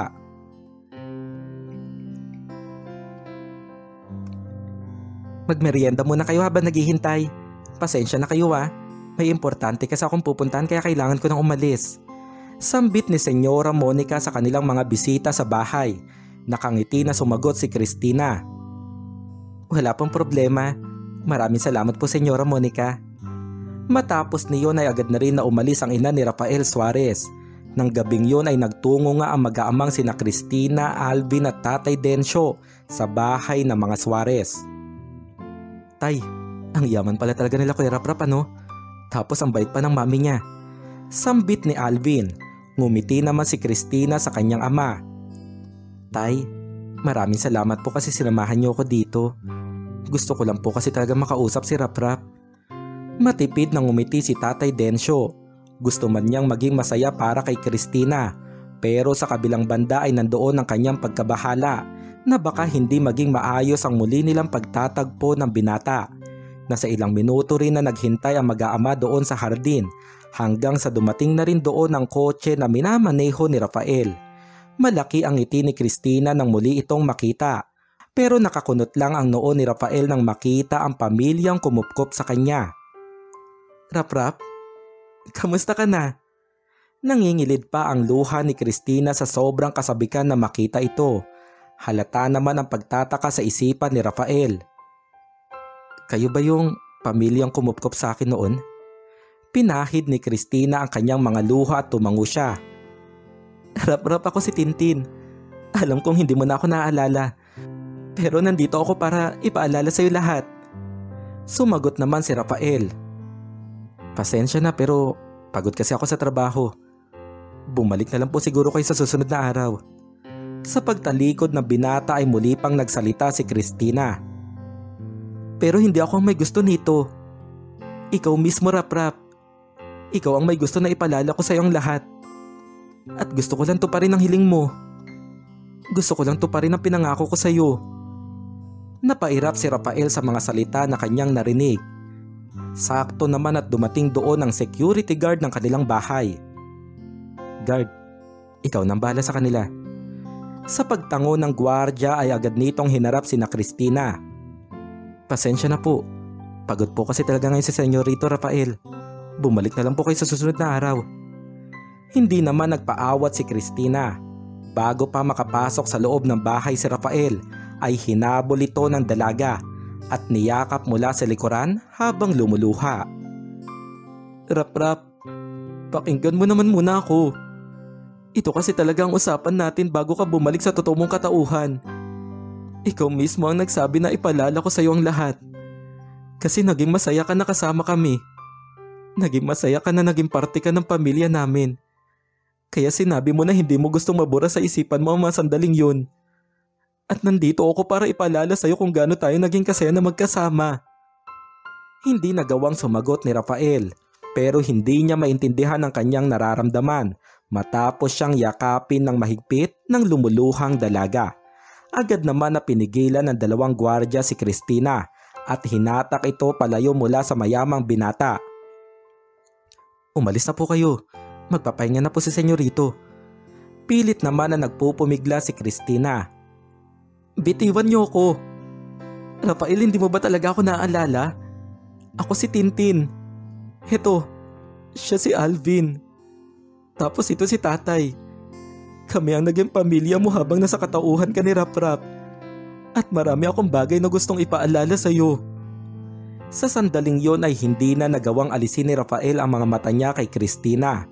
Gusto niya na umalis na ang mga ito sa kanilang tahanan pero sa kabilang banda ay hindi niya maintindihan ang kanyang sarili kung bakit ganun na lamang na tila nangingilid ang kanyang mga luha. Pero sa huli ay dinaan niya lang ito sa paghinga ng malalim. Guard, sige na. Palisin niyo na sila. Lalo pa nga bumuhos ang luha ni Christina matapos silang talikuran ni Rafael na agad na rin pumasok sa loob ng bahay. Sa pag-uwi ni na Christina ay naging tulala lang ang dalaga. Agad pa nga silang sinalubong ng ilaw ng tahanan na si Nanay Lucia. Ano? Kamusta? Nakausap niya ba si Raprap? Hindi nakasagot si Tatay Densyo Unti-unti ring naglaho ang ngiti ni Nanay Lucia nang mahalata niya ang pananahimik ng kanyang mag-aama, lalo pa nga ang kanyang anak na si Christina. Nay, bumili na po kami ng pagkain doon sa bayan. Maghapunan na po siguro tayo. Lumapit si Nanay Lucia sa dalaga matapos nitong mahalata ang lungkot sa mata nito. Anak, ano ba ang nangyari? Hindi nakasagot si Christina mahigpit siyang yumakap sa kanyang ina at doon ay hagulgol niyang inilabas ang bigat na kanyang nararamdaman. Doon sa terasa ng kwarto ni Rafael ay mag-isang nananahimik ang binata. Hanggang sa mga oras na yon ay gulong-gulo siya sa kanyang nararamdaman. Hindi man kasi niya kilala ang pamilya nila Christina pero nandoon na lang din ang kanyang pagtataka kung bakit tila Nasasaktan siyang makitang umiiyak ang dalaga. Tintin? Alvin? Tatay Densyo? Bukod sa pagkupkup niyo sa akin noon, ano pa ba ang naging papel niyo sa buhay ko nang nawala ang alaala ko? Hanggang sa pumasok doon sa kwarto ang kapatid niyang si Jenica. Kuya Rafael, ito na pala yung photo album na pinaasikaso sa akin ni Mami. Sabi niya, sa'yo ko daw ito ibigay. Napakunot ang noo ni Rafael. Photo album ng ano? Bahagyang tumawa si Jenica. Nandito ang mga pictures mo nang nawala ang alaala mo. Pinasadya kasi talaga ni mami na makuhanan ng mga litrato ang mga karanasan mo nang nandun ka sa pamilya na kumupkop sa'yo. Alam mo Kuya Rapi, mababait sila. Kaya sana kapag nakaharap mo ulit sila, maging maayos ang pakikitungo mo sa kanila. Iwanan ko na lang itong photo album dito sa mesa mo ha. Matutulog na kasi ako. Sa paglabas ni Jenica sa kwarto ay nakatingin lang siya sa photo album na nasa mesa. Malaki ang parte sa kanyang pagkatao na hindi ito tingnan pero tila ba may humahatak sa kanya para makita ang nilalaman nito. Sa huli ay kinuha ito ni Rafael. Muli ay naramdaman niya ang pangingilid ng kanyang mga luha na hindi niya maintindihan kung ano ang pinanghuhugutan.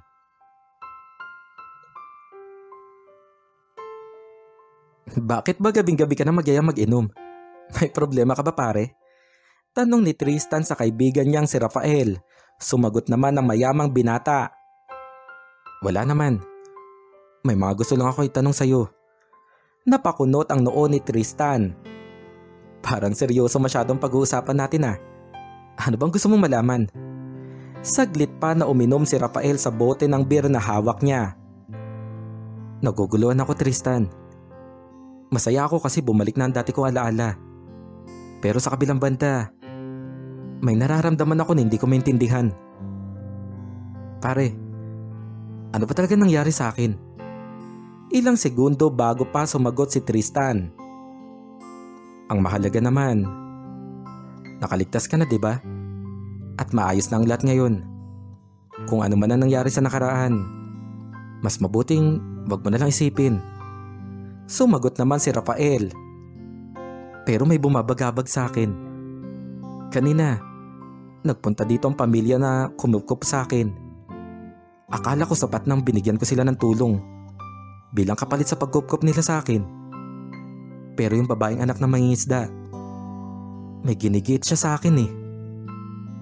Ginusto ko daw na ipaalala niya sa akin ang mga sandali na nakasama ko sila. Kaya nga sobra ako naguguluhan. Lalo pa nung niyakap niya ako. May iba ako nararamdaman. Pakiramdam ko, komportable ako sa sandaling yakap niya ako. Pinagtabuyan ko sila kanina. Pero parang ako yung nasasaktan habang nakikita na umiyak siya. Tapos may mga litrato ako nakita kanina. Mga litrato na kasama ko sila. Nakita ko doon ang mga ngiti ko pare. Parang ang saya-saya ko sa mga sandaling yun. Parang wala akong anumang problema. Sa sandaling yon ay mahahalata na nga ang pangingilid ng mga luha ni Rafael. Tristan, ano ba talaga nangyari? Talaga bang minahal ako ng pamilya ng mangingisda? Yung anak niya. Yung anak niya si Tintin. Minahal ba ako ng taong yun? Nagbuntong hininga si Tristan. Pinagtabuyan mo sila. Pero sa totoo lang, sila lang din naman ang makakasagot niya sa mga tanong mo. Napasandal si Rafael at sobra siyang napaisip sa salitang binitiwan ng kanyang matalik na kaibigan.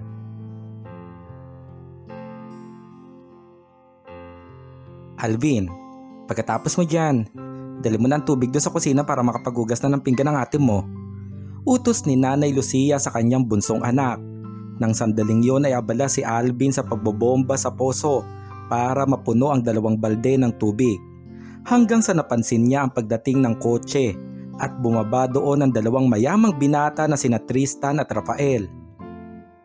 Tay, tay dumating po si Kuya Raprap. Doon sa loob ng bahay ay napatigil si Tatay Densyo sa sinabi ni Alvin. Maging sina Nanay Lucia at Christina na nasa kusina ay nagtaka sa kanilang narinig. Sa pagpunta nila sa kinaroroonan ni Alvin ay nakita nga nila si Rafael Suarez. Kuya Raprap, sabi ko na nga ba't hindi mo kami matitiis? Mabuti na lang at napadalaw ka. Sumagot naman si Christina. Alvin, hindi na siya si Raprap kaya tumigil ka na. Sir Rafael, may maipaglilingkod po ba kami sa inyo? Si Tristan naman ang sumagot para sa kanyang kaibigan.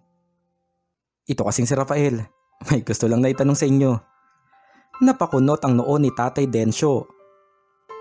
Ano po ba yung mga itatanong niyo Sir Rafael? Huminga ng malalim ang binata Wa- wala naman po. Gusto ko lang po talagang bumisita dito. Hindi po ba't dito ako tumira ng ilang buwan? Pwede po bang dito muna ako kahit ngayong buong araw lang? Napangiti naman si Lucia. Oo naman. Kahit na hindi na ikaw si Rap Rap, sobrang welcome ka pa rin dito. Napangiti ang buong pamilya ni Christina maliban sa dalaga. Saglit pa nga nagtama ang mga mata nila ni Rafael pero agad na umiwas ng tingin si Christina. Sa araw na yon ay iniwan na nga muna ni Tristan ang matalik niyang kaibigan sa pamilya na kumupkop dito. Kuya Raprap, este, Sir Rafael, ito po yung bangka na ginagamit natin nila tatay kapag nangingisda tayo. Si Alvin ang nakasama ni Rafael na maglibot doon sa tabing dagat. Gusto kasi ni Rafael na malaman ang mga ginagawa niya noong siya ay nasa ibang katauhan. Ibig sabihin, natuto kong mangisda? Bahagyang tumawa si Alvin.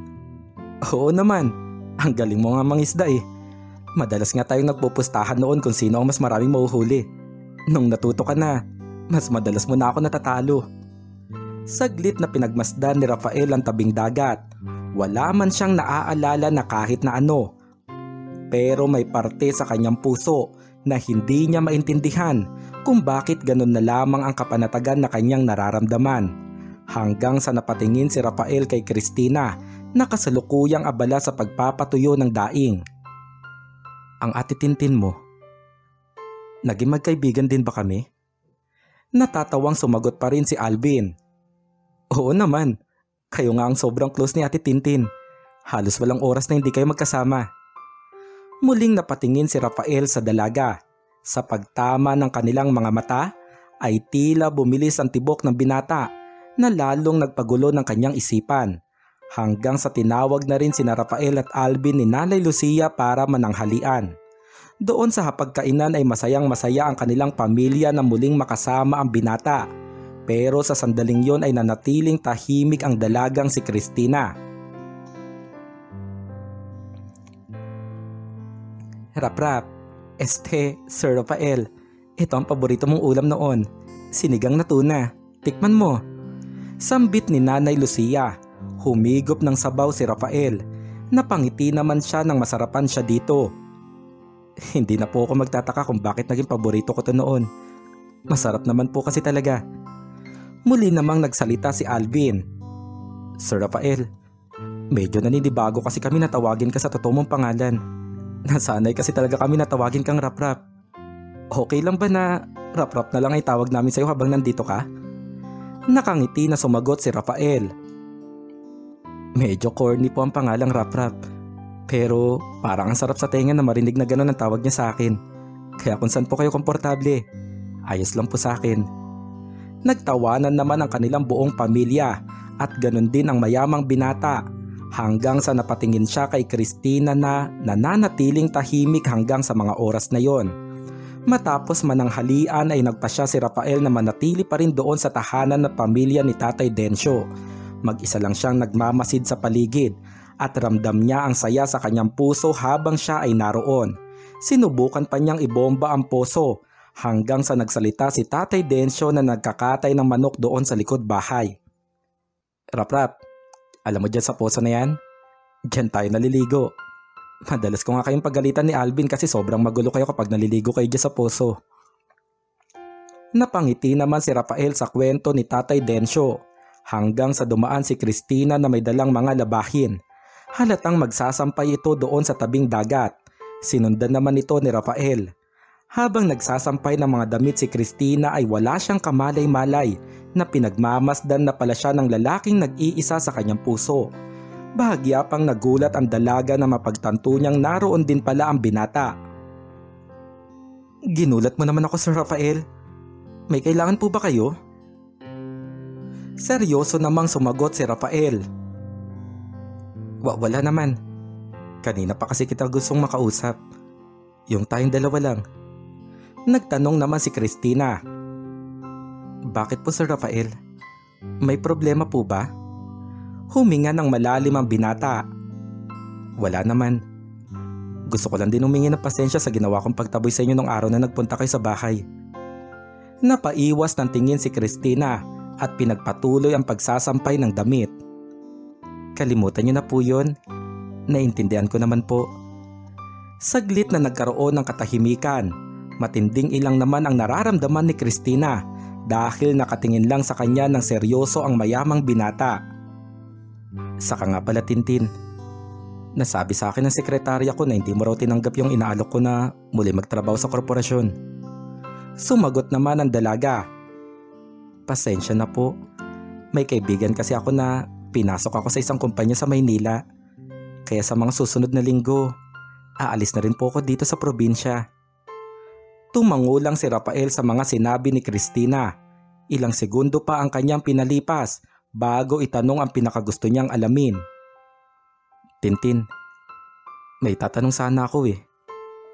Pero sana wag mong isipan ng anumang masamang gusto kong malaman. Seryosong tumingin si Christina sa binata. Ano po bang gusto niyong malaman? Lakas loob naman itong binigkas ng binata. Nung sandaling nandito ko kasama ka, ano ba ang naging turing natin sa isa't isa?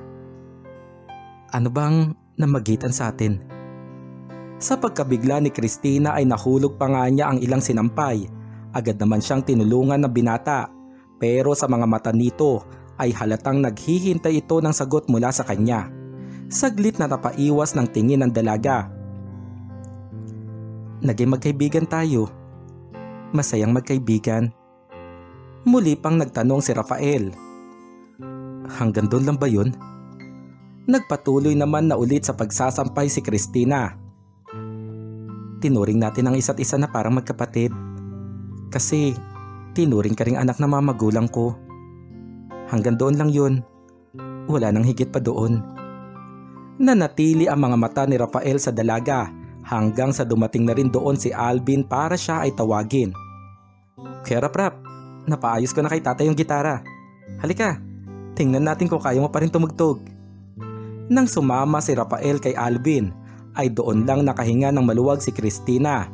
Pero kasabay din nito ay ang pagbagsak ng kanyang mga luha na agad rin niyang pinahid para walang sinuman ang makakita. Sa araw na yon ay doon na rin naghapunan si Rafael kasama ang pamilya ni Christina. Matapos pa ngang kumain ay saglit na sumabay si Rafael sa inuman nila Tatay Densyo at Alvin. Saglit na napatigil naman si Christina nang makita niya ang mga ito doon sa tabing dagat. Kasalukuyang tinutulungan ng dalaga ang kanyang ina sa paghuhugas ng pinggan. Tintin anak, tingnan mo, parang bumalik talaga siya sa katauhan ni Raprap ano? Nagbuntong hininga si Christina. Nay, bakit naman niyaya pa nila tatay na mag-inom si Sir Rafael? Alam naman nilang nasa migit isang oras pa itong magmamaneo para makauwi sa bayan. Sumagot naman si Nanay Lucia. Tumawag naman kanina si Tristan. Nasabi niya na ang mami at daddy ni Rafael ang magsusundo sa kanya dito.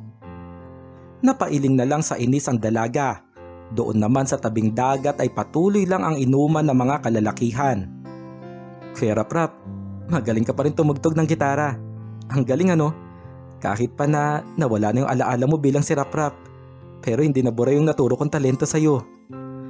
Katulad ng inaasahan ay marami pa rin kwento si Alvin kay Rafael. Natutuwa naman si Rafael sa lahat ng kwento na naririnig niya mula dito. Hanggang sa dumating doon sa inuman si Christina para dalhin ang maiinom na tubig. Inutusan pa ito ni Tatay Densyo Tintin anak, bilan mo pa nga kami ng isang bote doon sa tindahan. Umalma naman dito ang dalaga.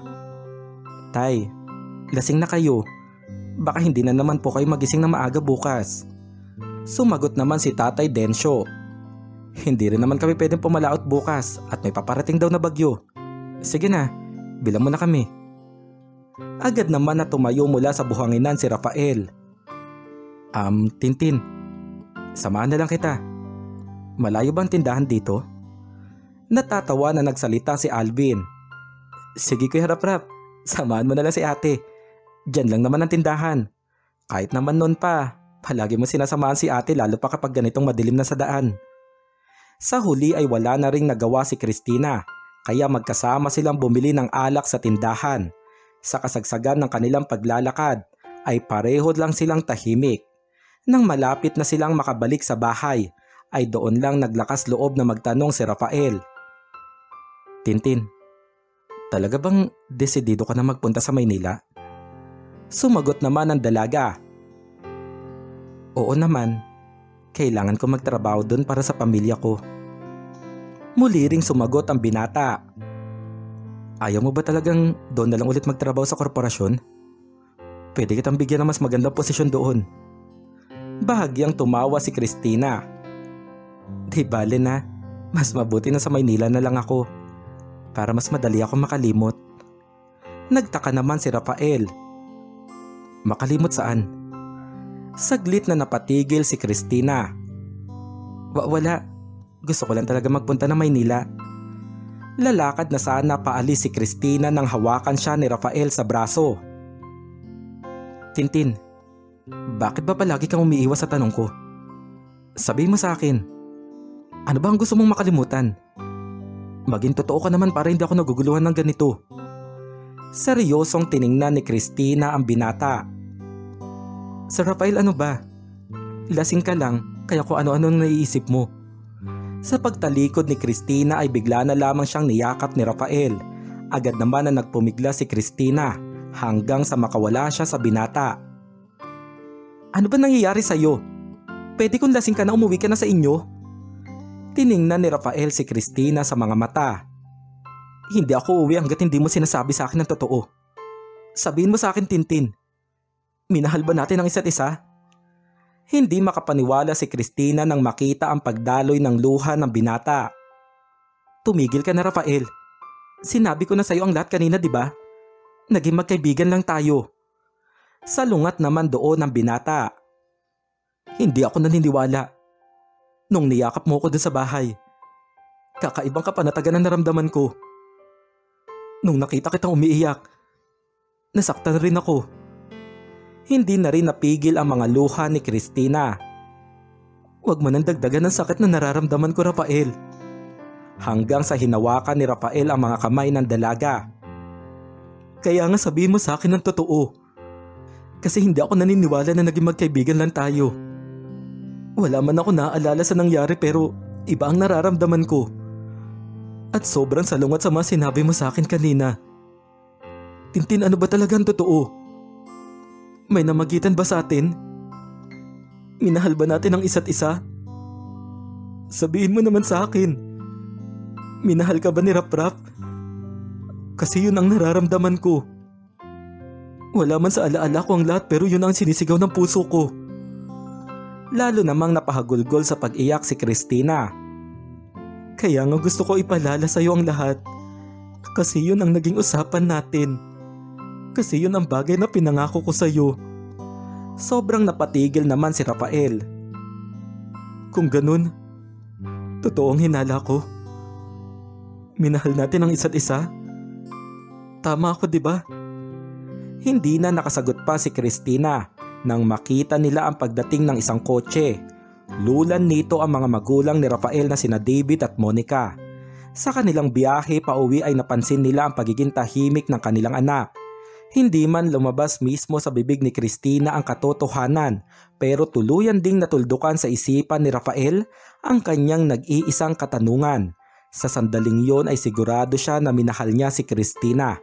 Minahal niya ito sa nakaraan at ramdam niya pa rin ito hanggang sa kasalukuyan. Kauuwi lang ni Christina mula sa palengke dahil tumulong siya sa kanyang ina sa pagtitinda.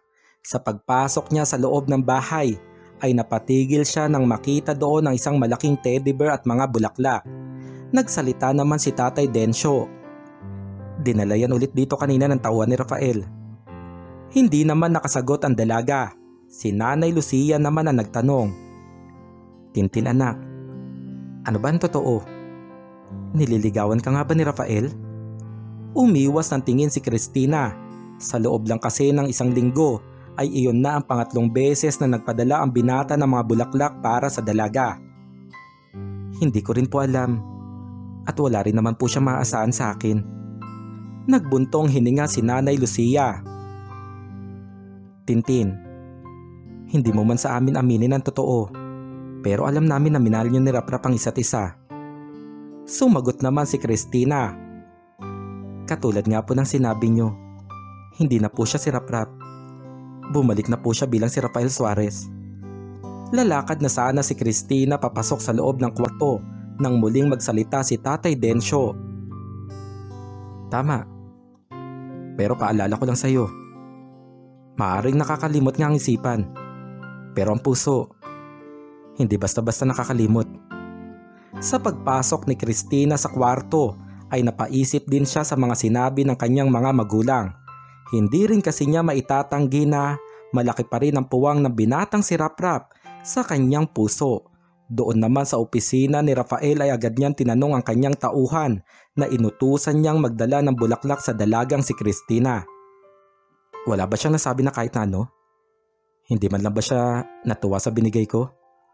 Sumagot naman ang sekretarya na si Elena. Wala po kasi doon si Tintin nang magpunta kami. Ang nasabi lang po sa amin ni Tatay Densyo. Sa makalawa, luluwas na ng Maynila si Tintin. Saglit na napatigil si Rafael sa kanyang nalaman. Nandoon ang kanyang lungkot na malamang tuluyan na silang magkakalayo ng dalaga.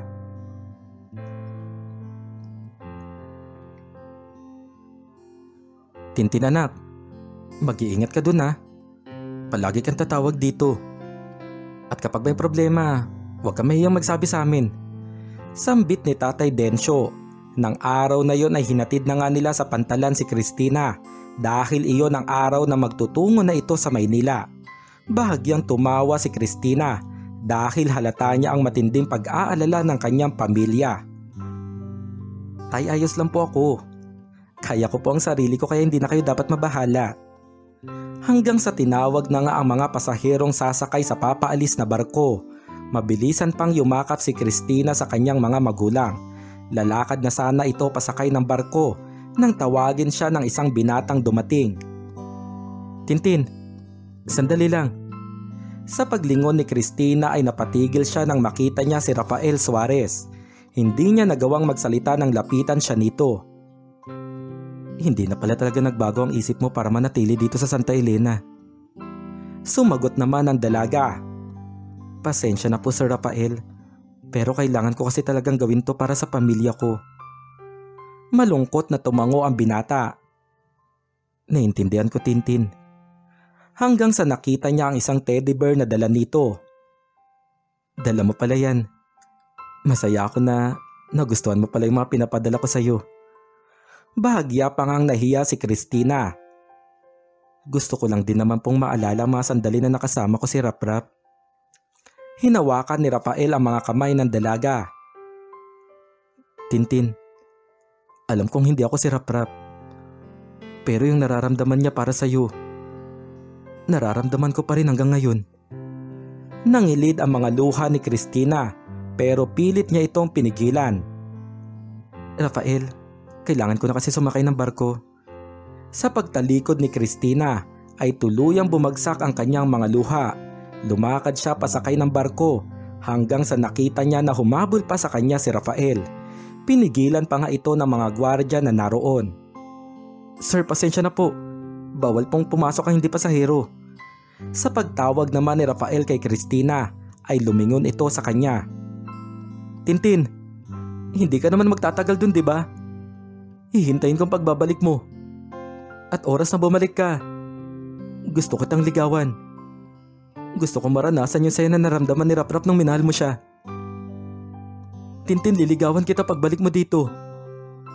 Hindi na nga napigilan ang luha ni Rafael sa tindi ng sinseridad sa kanyang mga sinabi. Sa sandaling yon ay hindi na iwasan na sumaya rin ang puso ng dalaga sa kanyang narinig. Isang matamis na ngiti ang pinaabot niya kay Rafael Suarez bago siya tuluyang sumakay sa barko na magdadala sa kanya sa Maynila.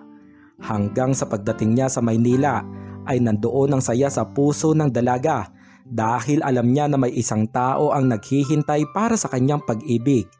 Sobrang nanibago pa nga ang dalaga dahil doon niya napagtanto na totoong magulo ang syudad. May kaba siyang nararamdaman, lalo pa at napapansin niya ang dalawang kalalakihan na madalas ang pagsunod sa kanya sa tuwing napasok at nauwi siya mula sa trabaho.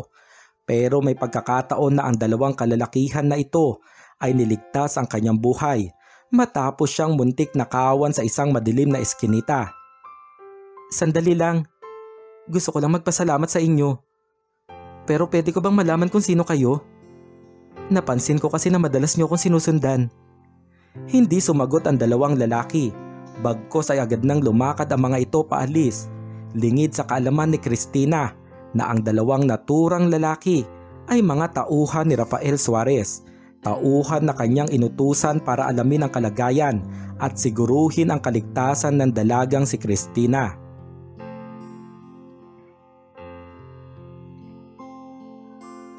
Sir Rafael, nasabi po kasi na planong lumipat ng kumpanya na pinapasukan si Tintin.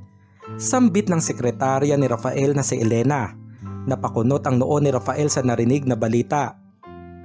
Lilipat ang kumpanya. Bakit daw? Sumagot naman si Elena. Nawala po yung mga investor ng kumpanya na pinapasukan ni Tintin. At sa katapusan po ng taon na to, posibleng magsara na po ang negosyo nila. Napasandal si Rafael sa kanyang nalaman. Mag-iisang taon na kasi sa Maynila si Christina pero hindi pa rin nawawala ng balita si Rafael sa kasalukuyang sitwasyon nito. Lalo pa nga at sa sandaling yon ay ramdam ni Christina ang lungkot dahil sa planong pagsasara ng kumpanya kung saan siya nagtatrabaho. Hindi kasi naiwasan na mapalapit na siya sa kanyang mga kasamahan, pati na nga rin ang may-ari ng kumpanya na pamilya ang turing sa lahat ng empleyado. Isang umaga ay napawi agad ang lungkot ng dalaga sa pagpasok niya sa opisina. Mabilis kasing kumalat ang balita na hindi na nga magsasara ang kanilang kumpanya. May malaking investor daw ang pumasok at plano pang gawing international and distribution ng mga produkto natin. Grabe ano? Ang bilis talaga sagutin ang dasal natin. Sambit ni Gia na katrabaho ni Christina. Sumagot naman si Christina.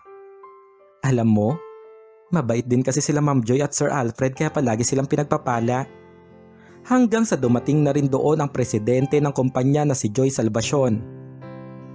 Tintin, maraming salamat ha. Ikaw talaga ang hulog ng langit dito sa opisina. So paano? Maghanda tayong lahat dahil darating ngayong araw yung malaking investor natin. Nagkaroon ng pagtataka sa isipan ng dalaga at ilang pang empleyado na naroon dahil sa kanilang narinig. Pagdating nga ng hapon ay naintindihan rin ni Christina ang lahat. Hindi siya makapaniwala na ang dumating na malaking investor ay walang iba kundi si Rafael Suarez. Gusto pa nga ni Rafael na sumama si Christina sa kanilang dinner meeting na agad namang pinaunlakan ng dalaga. Doon lang din niya napagtanto na ang dalawang lalaking madalas na nasunod sa kanya at minsan siyang tinulungan ay mga tauhan ng binata. Rafael, mga tauhan mo sila? Bahagyang tumawa ang binata. Bakit? Tinakot ka ba nila? Sabihin mo lang sa akin. Natawa na lang din na napailing si Christina. Sa muli nilang paghaharap ay hindi na nga nawala ang matatamis ng ngiti sa kanilang labi. Hindi na nga nakapaghintay pa si Rafael sa pagbalik ni Christina sa probinsya kaya nga siya na mismo ang nagtungo sa Maynila para muli silang magkita. At sa mga araw na muli silang nagkasama ay tinupad nga ni Rafael ang kanyang pinangako na liligawan niya ang dalaga. Alam din naman ni Christina na mahal niya ang binata kaya hindi nagtagal ay tuluyan din naging opisyal ang kanilang pag-iibigan. At ilang buwan nga lang ang lumipas ay sabay silang bumalik ng Santa Elena para idaos ang isa sa pinakamalaking kasalan na naganap sa probinsya. Ito ay ang pag-iisang dibdib ni Rafael at Christina.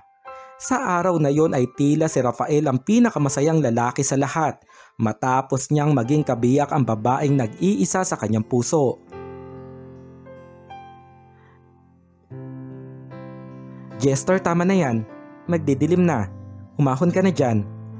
Sambit ni Christina sa tatlong taong gulang na anak nila ni Rafael. Nandoon kasi sila sa tabing dagat at kasalukuyang naliligo sa dagat si Jester kasama ang tsuhin nitong si Alvin. Mamaya natitin, akong bahala dito kay Jester. Kahit pa nga na sa bayan na nakatira ang mag-asawang sina Rafael at Christina, ay madalas pa rin silang nabisita kila Tatay Densyo. Kaya nga ganun na lang kasundo ni Tatay Densyo ang kanyang apo na si Jester. Han, ano kaya kung bilhin na lang natin tong lupa tapos gawin natin tong resort? Sambit ni Rafael nang maupo sa tabi niya ang kanyang misis. Bahagyang tumawa si Christina. Ano na naman ba yung naiisip mo? Eh di nawala naman ng hanap buhay ang mga mangingisda dito. At isa pa, isa si tate sa magagalit sa iyo. Gusto mo ba yon? Umakbay naman si Rafael kay Christina. Madali lang naman mawala ang galit ni Tatay Densyo. E di, bigyan natin siya ulit ng panibagong apo. Lalo pang tumawa si Christina at marahan pang kinurot ang braso ng kanyang asawa. Parehong malaki ang kanilang ngiti nang makita ang batang lalaki na tumatakbo palapit sa kanila. Ang bata na naging bunga ng kanilang pagmamahalan. At dito nagtatapos ang kwento. Ako pong muli si Lucas Mariano at magandang gabi po.